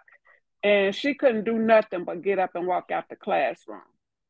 Like, imagine that happening to you from a kid unprovoked. What do you do? Well, my thing is this when those type of outbursts and and violent uh, eruptions happen in school, there's no therapist on on the call or there with the kids because I mean, I would think that's where they need to go. Something wrong with them. So they don't just send them to the therapist or go sit in and talk to somebody. Are they not there every day? you fun. Um, the social worker that's usually at the school is not necessarily doing therapy or not. She will have all the kids then. But no, the ones that act out, the ones that's beating on people, on the teachers are the ones that need the therapy now one one right away. Forget the rest of them. I mean, you may be talking to somebody in a calm state, but the one that's over here beating up on people and karate kicking people and, and slamming and slapping teachers and stuff, they're the ones that need the It doesn't work like that. Not in the real world. You know, you know how they do it, Tamara. Behavior, behavior Girl, please. all, the, all the therapists come running and shit. They don't do that. they have people there to help because they have codes as well. But I mean, no. honestly, most of these schools are understaffed because there's not enough hands on deck.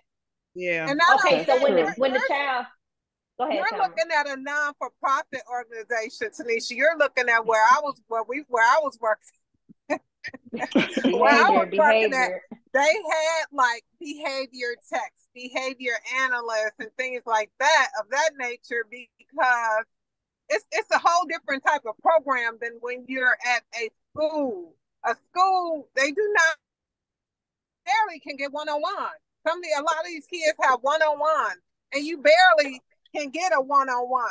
So, so true. Think, and then a lot of the schools and are coming together and they don't even want police and things of that nature inside the school because they're saying that that's provoking and different things. So how you're going to have someone that come in and because sometimes when you have behavior analysts, they do study the, the person behavior, but also they're also trained to do restraints. And that's a whole nother thing in public school system. So when the child knocked the teacher down or slapped the mess out of her, then we just go back to learning whatever chapter seven. I mean, Yeah. what? Pretty much. Yeah, that's exactly No, what happens. I mean, no. part of Uh-uh. the issue is that um, I mean, it's only one social worker to maybe two or three schools. Oh no. So you got to think about if you got four or five hundred kids in one school, this social worker might not have been there on staff, and they're not they're not miracle workers. Like they're not the whisper of the stopping kids from uh doing things. That takes time. That takes, you know, even Dr. Perry couldn't go Right. in and just solve issues. It took it took him building relationships with Yeah. them to be able to get them to regulate and do certain things. So that's part of the issue where I don't know how I like when I was uh doing after school program, I kind of taught like uh I tried to bring in the curriculum of uh social emotional uh to get kids to learn how to learn coping skills, to learn how to really tap into when they're feeling a certain way. Why you feeling this way so they don't react? Because everybody goes to anger. If you're sad, you go to anger. If you are feeling scared, you go to anger. So anger is always the quick, readily emotion that most of us as humans do. We go to that emotion because it's easier, it's quicker to as we see now, it's the brain, the lower the uh lower part of the brain that is activated that's making us go to that anger piece. So I think it's just really trying to build relationships. And part of the reason why these teachers can't do that because they have to teach to the test. They can't take and develop each individual kid because, like they said, they're overstaffed, they're overwhelmed, and some of them don't even have the tools to do that. So the, it's just a it's just a cycle, and it's this this is kind of just with these two teachers that's on that we're list that we're talking to that maybe some of this can filter out and we can start making changes but it's just hard because like they say it's a system. This is systematic where we're dealing with our kids that nobody nobody cares as far as at the top. I ain't talking about just us at the baseline but that's part of the issue there is no vested interest. What's the vested interest? The vested interest is to have the prison, the school, the pipeline. That's the vested interest. Where when that kid gets to third grade, we know how many kids gonna be in the jail in the penal system because of that, because they have these type of outbursts. This boy then smacked the taste out of a teacher's mouth how you think he gonna be viewed at that school how you think they're going to deal with him at that school because now we can't trust we don't know what you gonna do we literally trying to teach a class so you can hit us Mm-hmm. but we don't even know what was the reason what was the reason Right. What triggered him to do that? And then not only that, the kids, because you, now you're being disruptive in a class. The the teacher, you know, is also fearful for her life, you know. But now you have kids that seen this, which that could sh- could shake up some of the kids as well and cause trauma for some. Because now I'm scared of him. exactly He done put his hand on this teacher. I know he'll put his hand on me. I can't even function because I don't know what he's gonna and he constantly having these outbursts. That's keeping me from learning. And it's funny because whenever these kids do these things, the first question they'll ask you is, "Well, what happened? Like, what provoked him? What motivated him to do that?" So one day in our class last week, the kids sitting at their desk. The, the lead teacher is up front leading with his instructions, sitting there um, doing the work on the computer. And this boy just jumped up out of his seat and ran over there and started attacking the teacher.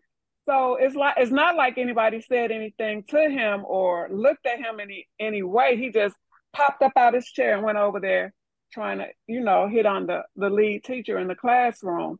And it's like sometimes it doesn't take anything to provoke them that we see. I don't know if he's sitting there and what he has going on inside his head and his mind, but sometimes they just get up and do what they do on an impulse, you, impulsive behavior. You know, you right. never know, you never see it coming. They just they just do exactly. it. Exactly.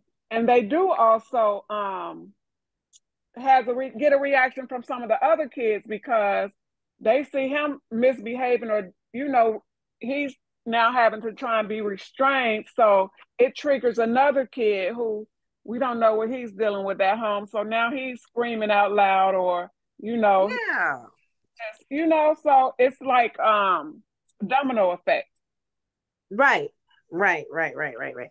And and that's draining especially if you have to deal with that constantly day in and day out. And that's why a lot of these teachers they are walking away or they like I, give me a a, a younger um grade or I go to the older kids. And then, I mean they act out in every grade every level but it's either they doing that or they transfer to different schools or they like this I can't do this anymore because again it's a domino effect now this is going to mess up my household you know, because this is messing up my mood and everything. And it's, it's just sad because now this is where the shortage comes in at. And they seem to be behind any and everybody. Not everybody that's teaching is meant to be a teacher. They're there just for a paycheck. True. The way I hear some true. of these teachers talking to these kids, I'm like, how is she teaching anything when it's all I hear every time I walk past your classroom is yelling? Oh yeah, I was gonna say that. I know I've worked around. Well, growing up that. in here, I got mine, so you better try to get yours, right? Right. Yeah. That's that's an mm-hmm. awful, awful philosophy for a teacher to say to a student. But I think it takes a teacher getting real frustrated to say that. Yeah, usually. Yeah. You know, yeah. because you're trying to teach and you have some kids there that's trying to learn, but you have some kids there that they're there because they're forced to be there, you know? It's rough. So I at my other school that I left, um, I was talking to someone there and they told me that uh, I think it was an eighth grader had transferred in, but they had recently found out that this eighth grader had gang ties, had recently been shot, whatever, whatever. And so the principal there, she don't play that mess. She got him up out of that school and sent him to his home school because don't bring that drama to this door or whatever. Right. Nobody wants to be scared and fearful because you have these affiliations and you might bring that activity here. So this isn't your home school, so you can go to your home school. And I think that's fair because who wants to be at work where you have to worry about something like that? It's already scary and unsafe out here. Like nowhere you go, you can actually feel safe. But when it's a case where you can help a little bit with the feeling of safety, then you got to do what you have to do. Yeah. Um, I wanted to talk about what um, Michelle mentioned about prison the pipeline. Um, she stated, uh, Dr. Perry stated, more children are expelled from school in pre-K than at any other grade level. Children of color, especially boys of color, are expelled at rates three times higher than white children. Yes. Yep. Now I didn't even know pre-K you was even getting expelled. I didn't know that yes, was even yes. Oh, that's where it started, honey. Yes, it is. It is. They can't bite. They can't. They can't do none of that. You got kids that's biters. Yes that's uh throwing them tantrums that you can't control. Yes, they get rid of those kids. And Bitters. in pre-K. Yeah, because they, but look at but it, look at it from the lens of what we just learned. If you got a kid that's a biter at three, or they're throwing tantrums that like dysregulating at three years old, like looking at it from the lens of this book, it's showing you like what's going on, what's happening. Because something Mhm. is happening while this kid is dysregulating like this in school at three. At three. At three. And Can't even hardly spell his name. But Yeah. at three, at he's three. tearing up the entire classroom Yeah. every every day. I had a little boy on Friday that I was substituting at another school um for after school program. And I said, Amarian, why do you what is this around your neck? It was a little rubber thing. And then he put it in his mouth. I said, Ew, don't put that in your mouth. That's that's that's nasty. That's germs. I said, Why are you biting on that? And he put took it out of his mouth and he's in kindergarten. He looked at me, he said, Because I bite people. And I'm looking at him. I said, Oh, okay. Well, put it back in your mouth then. And so I go to the other people that are normally there. And I said, So Omaria has a problem with biting um kids because he's they have that around his neck because he said he bite people. And they looking at me, and these are young um high schools, and they said, Oh, is that what he told you? Oh, so you all didn't know this. Okay. Well, that's why he has it around his neck. But see, Some of the social workers in school have given kids those, and I've seen it because um, I had a student, he didn't used to bite others, but he used to bite himself so much in one spot on his arm. He just had this, it looked like a big, it's just a permanent scar there where he just basically chews on himself. So she gave him a thing. You put it around his neck, and it's this, you know, instead of biting on yourself, when you have the impulse to bite yourself, just bite on this, whatever it is. And it did help to take down the number of times, at least in school, where he was biting on himself. He'll just use that tool that was given to him by the social worker or whoever it was that gave it to him at school as an alternative to biting on himself. Because yeah, the scar, it was just it's just huge and it's it's not it's never going anywhere. It's there. But we this is where students like that. this is where I get confused because even with reading Oprah book, the whole discipline thing, even my daughter said to me yesterday, um, she grew up in Hinsdale, so it's a little bit different, right? Out here and how they think of things. Any anything she sees, she says abuse. If you say if if if you tell a kid if you do that again, you're going to be in trouble. I'm going to get you. She'll say that's abuse, right? Because living out here, they're taught that everything is abuse, basically. Well, I'm over exaggerating a just a little bit. So this is where I get where I get a little bit confused, or it's hard to answer because I'm not saying that spankings and things like that is necessary, but I don't think I don't think nothing is wrong with it if that's what a kid needs, right?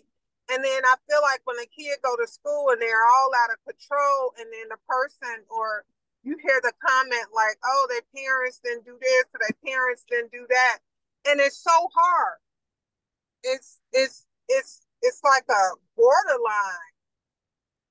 What what do you do? Because if I discipline my child for some things, I'm not saying for those things that we're talking about now, but just say their behavior is just out of control. You have spoken with them, you have did all types of options, but now you're like, okay, when you, I'm going to look at you, as you know, we'll say, some people say. But then now it's considered if you discipline your child and your and your child is told it's abuse. Corporal I- I- punishment is corporal punishment is allowed. It's not, you can't leave marks or bruises. Right. That's the I was gonna Not- say I'm not against discipline. I'm against yeah. Corporal punishment is allowed. Even even if you get a case called on you when they come out, it's if they have marks or bruises. Anybody can make a case, you know, can call in on you and say abuse, but that don't mean that it actually is. But I have had cases that that won. Not not me per se, but like I told you, well, I'm not supposed to have certain conversations, but I have seen where I I know it's made up. And and it's not my job to say whether I know it's made up or it's accurate. I, I have to state exactly what is stated to me. You can't take away, you can't add. And then you'll hear that same person a week later adding and subtracting and say things like, well, you know, I was upset. You made me upset and I did blah, blah, blah. So there are times where you don't necessarily have to have a bruise. So they were taking out the home or they just was a report was made on them? A report was made and it, it's it's a lot behind a report because I am that person at one point that you know I have to be very careful what I say because we you know everything's supposed to be confidential where I'm not supposed to discuss. But reports have been made and and yeah, that person life is on the line. When I say life, because it's your livelihood. If you are if there's enough information to say that you did this or they feel that it's accurate, then yeah, your life is on, that's your livelihood. Right. I get what you're saying. It's very sub uh, like it's very subject.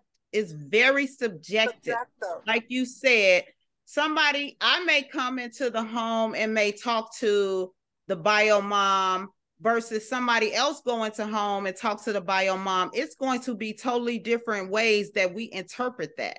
Exactly. So, so, like I just like I said previously, anybody can make a report. I can make a report on any of y'all. That don't mean it's going to be found. It got to go before a judge. Like nobody's just gonna come in and take the kids out the home. It's, it got to go through channels. Yes, is it bad? I've had cases where when I was investigating, I knew this case was bogus, but I still got to go out and investigate it because it may be that one time it ain't bogus. Exactly. So but I, I mm-hmm, go ahead. No, no, no. But I have seen where it's like it was stated like I'm going to get this person in trouble and blah blah blah. You know. Yes, we have all that. Like especially when they going through custody. When you got parents going through custody issues, they're going to go back and forth, back and forth with making uh reports. So but we get my, clogged down. You get clogged down with the system where now they you people got to go out on these bogus reports and do all these things because people want to make reports. I mean, it's it's a flawed system. But my thing is, so I'm gonna go back to the my my point is where I know you all saying that if if you don't have any bruises or things like that, but I believe a lot some of these kids are out of control because there's no discipline too. There are other issues, right? Each case is different. But there there are some cases where there's no discipline. There, you know, I, I had somebody say to me the other day, like, well, my child said to me, if you do blah, blah, blah, then I can call this number. And the fear of having your kids being taken off the out the home say not that kid but you have two other kids then it's it's just like it's so much where you know even with oprah book i, I goes back to to me when you got a kid that's threatened you as a parent they lost them a long time ago they haven't had that discipline in place previously. So that's sometimes what the issue is, where the discipline may not come in place. And then when they get older, when they can have an opinion, they start saying it because the discipline may not have been in place for them. Mm. Okay. And that discipline could be whatever whatever that parent chooses as discipline. It could be corporal punishment. It could be taking things away. It could be whatever that's effective because corporal punishment ain't truly effective either. You're right. Yeah. Because if it was, we wouldn't. Ha- I wouldn't have people in my generation where they are in jail or not productive citizens. You have parents that discipline their kids when when I was growing up, and they still turn out B A D A S S. so you know it's, it's, i mean it's it's a combination of things it's discipline it's love it's the environment it's just a lot where we dealing with we're we live in the inner city of chicago where they got multitudes of factors to just get to school to grow up so you know that's I That mean, I, know. I ain't gonna say corporal punishment. Like when I was growing up, I used to be like, when I was thinking of having kids, I was like, yeah, I'm a, I believe in corporal punishment. Do I necessarily believe in it now? I don't know. It, I mean, I think it's a time and place. I don't think that should be your first form of discipline for children.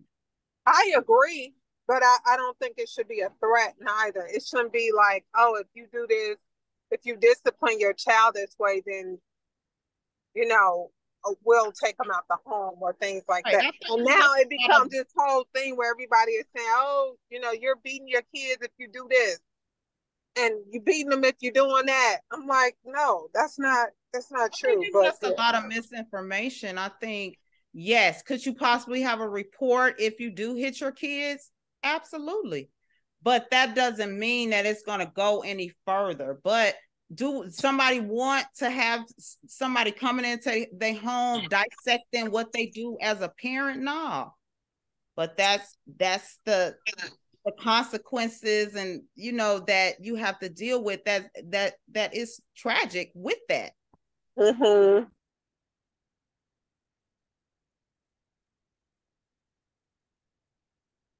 Does that help you at all, Tamara, with Michelle's response? I don't think she wanted help. I think she just wanted to vent. No, no, no. It did, I mean, actually, she gave me some insight. Um, Oh, it- okay. it, did. Yeah, yeah. Oh, okay. I thought you just wanted to kind of like, you know. I mean, I did want to just bring that out, but Mhm. also with me bringing that out, you gave a little spin to it. So it was some insight there. So Okay. yeah. Okay, gotcha. Got Good, it. good.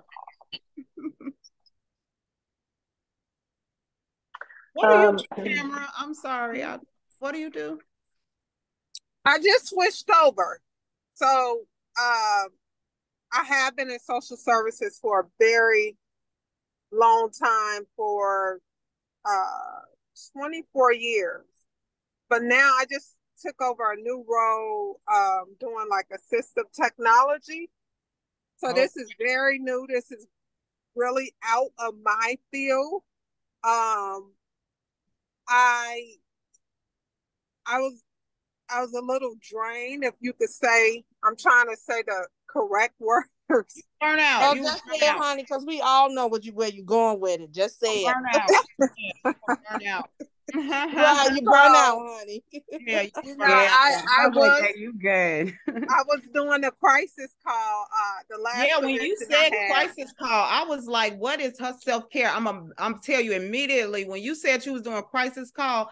All that first thing that popped in my head was like, "What is she doing for her self care?" Because she got Yes. to do something for Yes. self. If you getting inundated with that type of information, baby, you have to So be strict. I Oh. I was praying for God to relieve me of that. I finally got a new position in April. I think it was like April 9th. And I thank God every day. But yeah, yeah, it was especially during the pandemic. And you you can't go outside and you getting these calls 24 hours a day. It's nonstop. Um yeah, so yeah. Yeah. I'm just gonna I say can yeah. only imagine. That is a very it's draining. Yes. I have a friend that like something like Friday I came home and I just went straight to sleep. And I don't deal with kids to that magnitude like you guys do, but just dealing and working with kids, period. And I work with all grades and all ages. Um, and I my friend, I was telling my friend, I was like, girl, I was tired because she called me and I didn't hear the phone. I said sometimes I get home, I I, I don't even eat dinner. All I want to do is take a shower, get in the bed, and go to sleep. I'm like and mentally drained because you know I'm talking all day, I'm trying to discipline all day, I'm moving around, I got a crazy schedule. So something she's like, Oh, you probably just need to take a vitamin B12 shot. No, no, no, no, that ain't it. So not. That is not it. I said I'm physically, I have to physically be available from five thirty, well, six o'clock in the morning to almost seven o'clock at night. That's a lot of hours and a lot of energy that I have to be put out. So when I get home, I'm drained. Yeah. So I can only imagine like teachers that teach in an actual physical classroom all day. I personally couldn't do it. I teach more on the enrichment side and just creating um a way to try to get kids to open up on that uh, more on a social and emotional level and that can be a little draining but I, I have found ways to try to make it very engaging and fun and active but uh, actual teachers and social workers you guys my hat goes off to you all because this is something you all deal with every day and you and so as much as you give out to those kids somebody has to give it back to you Ooh, yes, you Yeah. preaching. I don't do that. I don't um I don't work with kids anymore and um so I do the medical insurance piece uh like case management and I do private practice therapy and I don't really even take on kids. yeah, Oh yeah, so I don't, I don't I don't really have a stress my job like what I do now I'm not stressed. I don't have any high stress with my job now.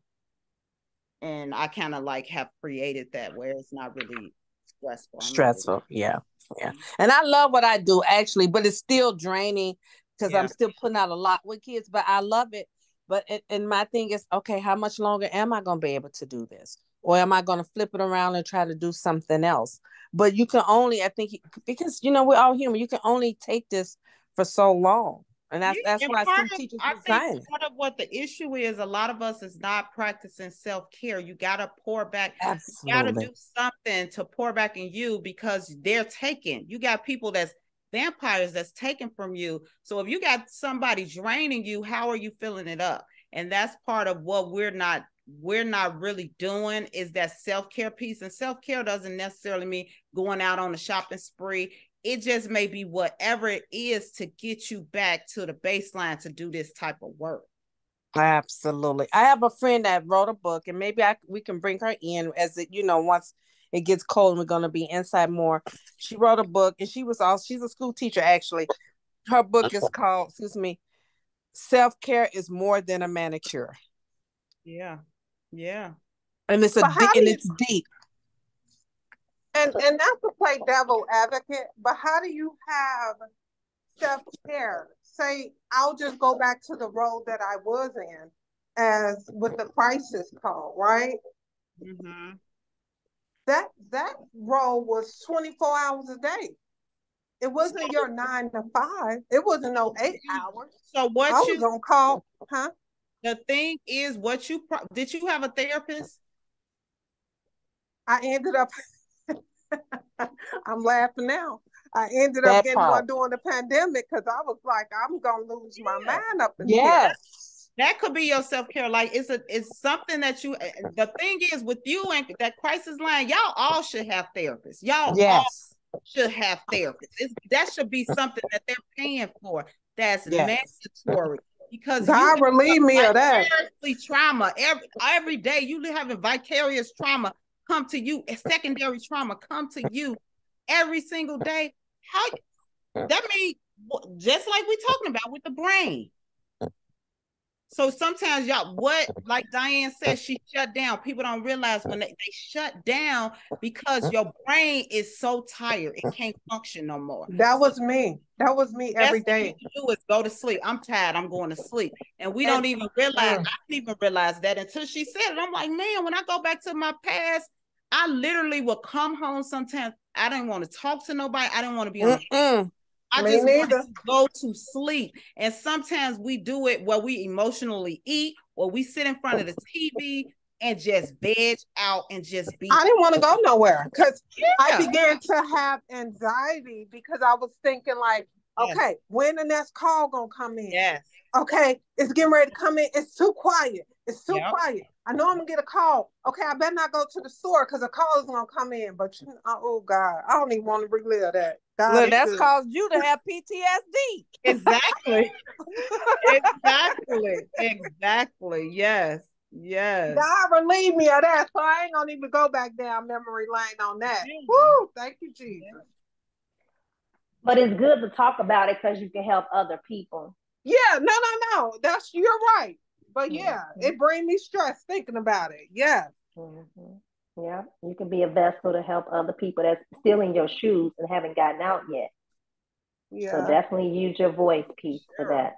They Definitely. all need therapy. Y'all got that's EAP. Your, everybody got EAP programs. You working for a company, you got an EAP program where they at least pay, they at least give you a few sessions to go to a therapist.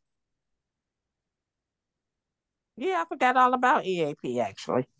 Yeah. It's a great way to introduce people to therapy because everybody that is not comfortable with going to therapy. Right. Right and that's a great way where you can really um you know see how see how you vibe with the person you don't you know and see if it's something you could do but I, especially in some of these industries um they definitely need to have some them that be something mandatory that like when cops like when cops shoot somebody they have to mandatory go to these therapists or things like that where it's like when you're dealing with this type of trauma you do need somebody that can assist you. And most people be like well i'll just go to my friends. Where like and with dr perry he's saying it has to be a community. It has to be some kind of way that um you getting that connection to mm-hmm. you know to get to that resilience Yes. And it could be but, a friend. He did say that. Yeah, he said he it don't necessarily have to be a, a, a, a therapist. It can be a friend as long as you trust that person and it's yeah. fulfilling whatever it is that you're trying to fulfill. It is okay. Right. Yeah, the pandemic I think have opened up our eyes to that because a lot of the whole um mental, a lot of people, the suicide, all of those different things. My job has even incorporated. Well, we have a young lady. Oh my gosh, she's so good. Her name is Dr. Sims, who has came and spoke at our company a few times, and she's so deep because she even me, like I said, I probably wouldn't have went through no therapy, but I was going through with the crisis call and then being on, you know, the crisis call and then having um then going the crisis call and then also going through the pandemic it had began to be a lot. I probably would have never went through any therapy any counseling because in our community we're told just to pray about it. There's nothing impossible for god. We're not told that it's okay to have therapy or counseling because you're considered crazy. But now with everything that's going on it's acceptable in society and it's okay now. So I think now a lot of people are getting therapy, but at one time it was like a no no, like yeah. you're crazy. So, In my honest opinion, I'm sorry. Uh-huh. I just believe that everybody can benefit from therapy. I don't care if you feel like you need it or not. I think it's beneficial to everybody. Yes. But a lot of people are just not open to it, even still. Yeah. yeah. And I'm glad and then finding the right therapist is key also because mm-hmm. just because they're That's a therapist don't mean they're the right therapist for you. Because right. I recently let go of a therapist because I didn't feel like he was beneficial to me. Like he wasn't serving me in a way that I needed it. So I told him we I didn't want his services anymore. Yeah, yeah that's true. I just hate I waited so late to even because even when my doctor told me about it, I was like, I'm not crazy. No, because you're not getting me like I mean, take a look at you and me. You chose book. I hear somebody. Right, I can't hear him all the way. Yeah, that was muffled. I don't know who it was. Yeah, but I'm glad. I think, I think it was Rachel. She just oh. joined us. Hey, Rachel, how you doing? How you ladies doing? Hey, how are you? I'm well. Well, This is her first time coming on book club as well. Okay. Uh, do you have background in your in your area? Background noise? probably by fan, and I'm watching my Uh, grandma watching TV, watching a movie. Oh, okay, okay, okay. Yeah, because we can hear a little noise in the background.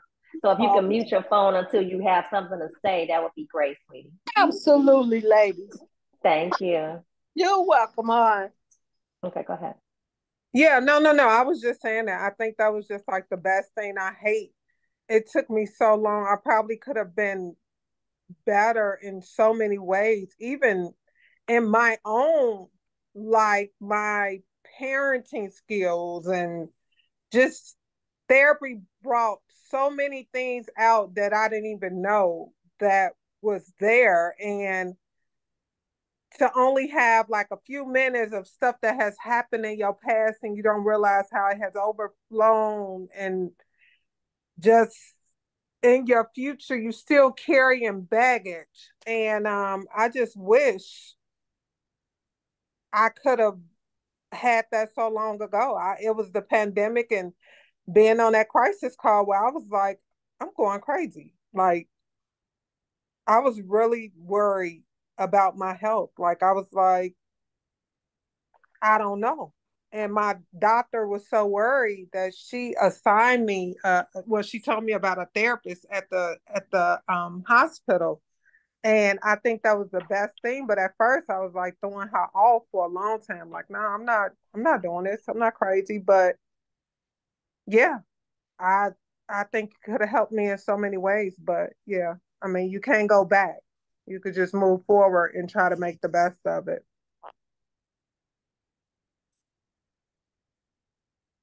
Yes, yes, yes. Um, I just want to pinpoint two things. Well, I wanted to let Rachel talk because I know you just got on, sweetie. So can you um give us your view of anything that you wanted to share with us while you while you just got on? Anything about the book? Anything? Just give us some some of your um sharing some comments with us. First of all, good afternoon, ladies. Good afternoon. good afternoon Club. Um, I didn't get a chance to fully finish the book, but I did read enough of it to where um I can't remember the exact chapter, but it it one particular chapter that was like a real trigger for me because I've always been the type of person that when I'm a when I say I'm a friend, I'm really a friend. And when I was going through my storm, all the people that I helped, they wasn't there for me. And before I went through my storm, my mother-in-law had told me, she said, baby, you look over there to the corner and you're gonna see who's gonna be there for you. And I always remember when I looked to that corner, it was my son. And I always keep that in mind with me because when Oprah was talking about the um, issues that she was having with her mom, and I was like thinking about the triggers with me when I had, like I said, I had been there for people. And when I was going through my storm, I had lost my, let me give a little background of my storm. I had lost my mom and my husband three months apart. And I didn't grieve for my mom and my husband. I kind of just pushed it to the side. And when I did realize that, you know, you didn't breathe for them properly, I was really depressed. And I didn't know I was depressed. I was a functioning person that was depressed. And when I realized that, I I started to heal, but it took me a long time to heal. And it took me a long time to forgive the people who had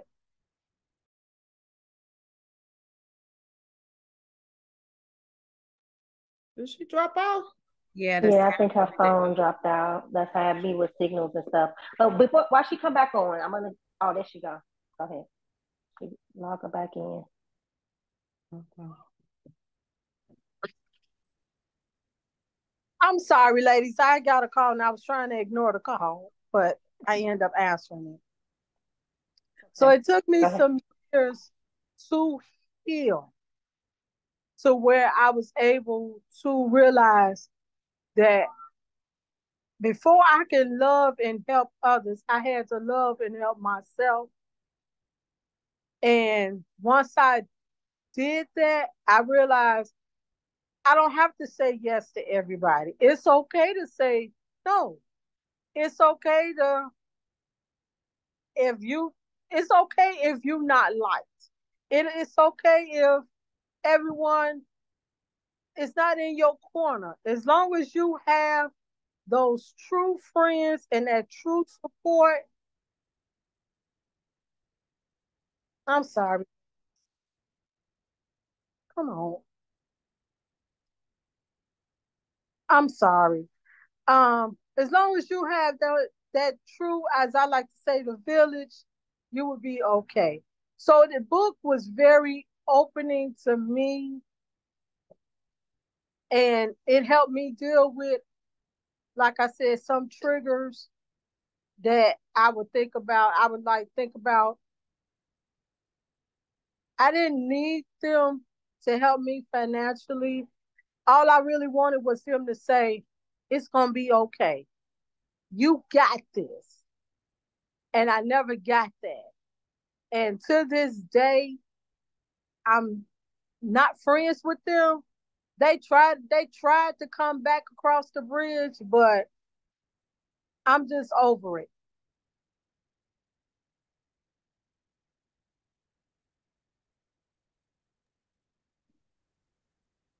So uh, that's all I had to say, ladies. well, thank you for sharing that, Rachel. And once again, I'm so happy you finally joined us. Thank you so, so much for coming. Um, Welcome. and being transparent about your own story. I really appreciate that as well. Um, Welcome. You um, I'm so glad that this book has helped seem like, of course, all of us, you know, in some way or face, shape, or form.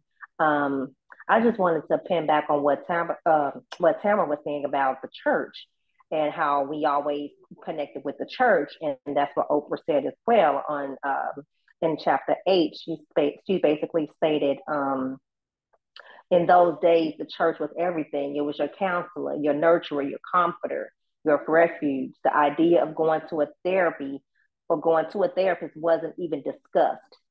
If you needed help, you went to church. So I just wanted to, you know, add on to that because church was where where we went to, you know.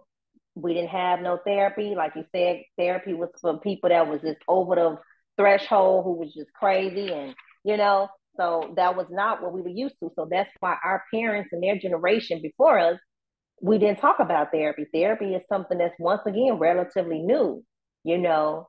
Um, so yeah, I, I just wanted to bring that out. And then also I wanted to talk about um the uh, the statistics far as um, in the media that Oprah was talking about um, in the same chapter as well about when um, black men and black youth in movies are on TV, you know, we're portrayed as, you know, how we are portrayed as um, being uh, malicious. And she stated that in um, Isabel Wilkerson's book, uh, Caste, she quotes a study from a criminal justice reform organization called the Sentencing Project. They found that crimes involving a Black suspect and a white victim make up only 10% of all crimes, but they account for 42% of what's reported on television. So, once again, it's all about, you know, it, media has a big influence on what people think of us as Black Americans you know um lot, some people don't even have any black friends. They say they do but not really. They not having them over for dinner. They not going on no trip. They ain't calling them on no phone. Some people ain't even got a black person in their phone in their in their contacts.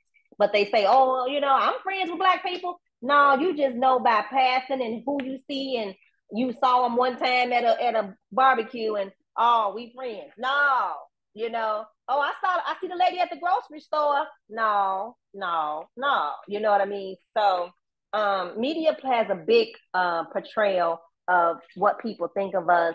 And like you said, Michelle, with the police um going to some type of therapy, um, teaching them about um, you know, how to deal with us without shooting us as soon as something happened. My thing is also you stated going afterwards. I think they should go before, you know, before and after.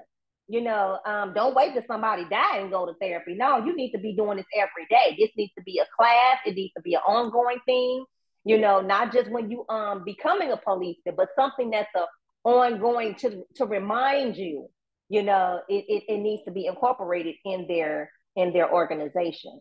Um, but yeah, I just wanted to add that. But um, this was a very good discussion. Again, I'm glad that we did come on here and you all, you know, took the time out of your busy day to come on and share your thoughts and share your comments.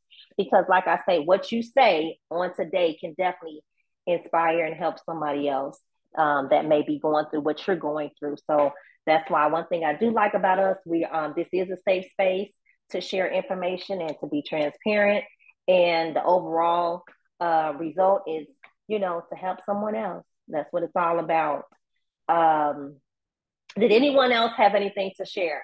Anybody else? It doesn't matter. Just anybody have any else anything to share before we go?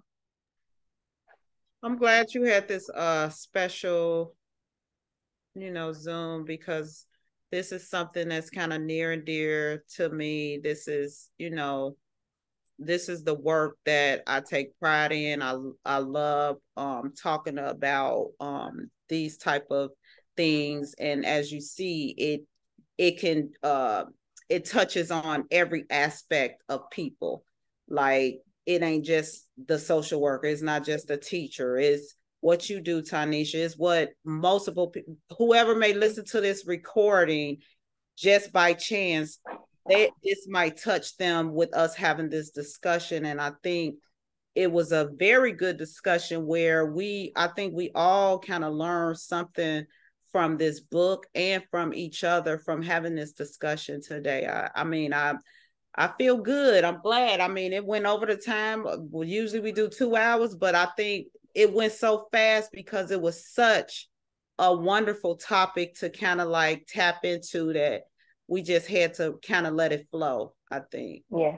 Yeah, and I also very, just want to mention to Rachel and just to anybody that depression shows up different for black women. I want us to know that that it shows up different from us. It's not going to show up where we laying in the bed can't get out the bed. That's not how it's going to show up most of the time for black women. It show up for us differently because of just how we are socialized and culturalized. It's just not going to be. That's a that's usually the uh white people white women uh that's how it shows up for them for depression where they can't get out the bed. We may be highly functioning we may be doing everything but still may be depressed.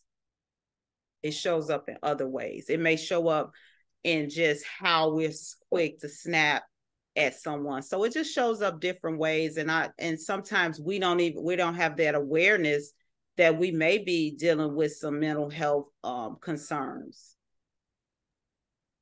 and it can go for a long time mm-hmm. it, it does because i lost my husband and my mom 20 actually this year will be 20 years since they passed away and I literally just started to heal two years ago. I started that journey two years ago. And I agree with you, Michelle. It's definitely totally different because I would never, I didn't, I wouldn't lay in bed and be like I couldn't get out of bed. I would get up, I would go to work, I would be a mom to my son, and I would just deal with life. Yeah. And I would I would break down in the midnight hours. Yes. When when when I would have those that a long time. Mm-hmm. And I always say in the midnight hour, your mind idles. Man, don't it? That's And- when you know something is wrong. When you laying down to go to sleep, that is when you know something is going on with you. That's usually when it shows up. and it it was so bad Mm-hmm. that I would drink. I mean, I when I when I say I would drink, I would drink. And one day, my oldest son, he, at the time, he was my only child. Um, because like I said, I I really been dealing with a lot. I lost uh my middle child. I didn't grieve for him. I still grieve for him. Are you in therapy? I'm not, but I have considered going because So really get with somebody so that much. deals with trauma, like not trauma, with grief. You really need to get with a therapist that's trained in grief because you need to process um this. You need to process because you've had very significant deaths.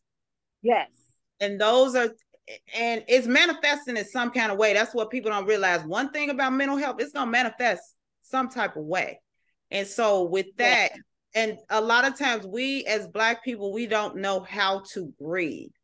We don't know how to process that grief because we're not taught that we can have emotions. ab- Oh, ab- you preacher. absolutely. I, I, I always be the strong one No, for my friends. I know. And- I always say, who gonna be there for the strong one? I always say that. I always say, who there for Rachel? hmm And you know, they say, well, oh, you go to your family. I don't feel comfortable going with to my family with my problems because I came in on the, the end of it, but I definitely know what kind of and get a clue what you ladies were speaking on. You we was told, you know, to chuck it up and deal with it. Yeah. You know, it, it you you're not allowed to sit and sit down and, and You gotta and be cry strong. Right. and, and, See, and have it's that true. moment. So Rachel, we talked, but we also talked about with the mental health, it's going to show up medically. A lot of times, us as Black people, that's why we we have heart, we have heart uh disease, we have high blood pressure, high cholesterol. It's going to show up medically when you're dealing when you're not dealing with that mental piece. Right. Mm. Right. And I like I said, I didn't I didn't deal with it until like I said two years ago. I, I wouldn't talk I wouldn't talk about my son passing. I wouldn't talk about my mom. I wouldn't talk about my husband. Me and my oldest son, we, we just would not talk about it. Yeah. And like I said, these last two years, we really connected to where the, our relationship is so beautiful that when I think about it, I don't cry, but I smile because it's like what my mother-in-law had always told me that that he was gonna always be that one. And he has always been that one. I don't care what I'm going through, how I'm feeling. If I'm wrong, he'll sit, he gonna listen. And eventually he'll come back and tell me, hey mama, you know, you was wrong, but I gotta let you get that off because you have held in so much for so long and you need to get that off your chest.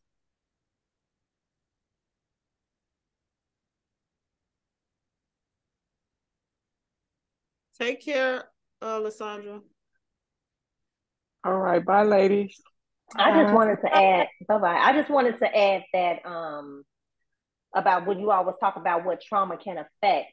Um, on page 219, it states trauma can impact our genes, our white blood cells, our heart, gut, lungs, our brain, our thinking, feeling, behaving, parenting, teaching, coaching, consuming, creating, prescribing, arresting, and sentencing. Sentencing, and they can go on and on. But trauma affects a lot of things, and it impacts a lot of things with our health and everything, and at every aspect. So, um, but um, the last chapter is basically on healing, you know, and they stated that we all are healers. This conversation today was a healing, was a form of healing, you know, for everyone. Like Rachelle stated, she doesn't she don't really talk about this. This is her first time ever coming on this uh, book club um, discussion, ever meeting us, and she was very, um, you know, uh, transparent in how she spoke with us, you know, and telling us some things that she's been dealing with you know, and it's every time you talk about it, it's healing somebody. Trust mm-hmm. and believe this. You know, every we all going through something, and somebody is definitely going through the same thing you're going. Even what you said, Michelle, telling her how to go to a grief therapist. That's healing to us because somebody is definitely in this on this session right here is dealing with grief. You know, and we don't think about going to a specialist, a grief therapist, or whatever you know, because like y'all, you have said, we all talk to keep it, you know, be strong and keep moving and, you know, hey, mm-hmm. pray about it and keep going. So everything someone has said today has definitely touched and helped someone. You don't even know it and you won't ever, ever know it, but trust me, it's definitely helping somebody. So, um, thank you all for joining us today. We'll be having our next Zoom the end of this month and we'll have a um a author will be on with us and we'll be discussing her book and just make sure you have your questions ready you don't have to have a lot of questions just you know maybe one question or so have doesn't matter but just have your questions ready for her and um we definitely will be reading another one of bruce perry's books michelle you only told me about the one that raised the dog so maybe i'll go on there and find some more books so if you want to recommend some more of his books that'd be good too or if you have anything else this uh raise a dog was the only one I've read. That was that's part of our that was part of our curriculum and uh in school. So that's how I know about it. But I I don't know of any I can look. Yeah, please. If you find something else, let us know. We already got um how to raise the dog on the list. Um, thank you, Stephanie, for recommending her book. She na- named the book um, "Kill Them Before They Grow." Uh, that's on Amazon, so we're gonna look that up. And then Lysandra, uh, I mean, was that was that Lysandra? No, Diane. Yeah. Diane recommended a book her friend wrote. Self care is more than a manicure. So thank you all for those recommendations. I will be looking into those books as well. All right. So you all, thank you all for being patient. I know, like Michelle said, it went a little longer because we don't normally be two over two hours, but this was necessary. Um, what needed to be said today was definitely important and essential. So um, you all have enjoy the rest of your uh, Sunday and have a good holiday. Labor Day is tomorrow. Enjoy, eat good, enjoy the weather. It's gonna be 90 something in Illinois. and I will definitely see you all at the end of this month. All right. See y'all ladies. Bye, ladies. Bye. Bye. Bye. Bye.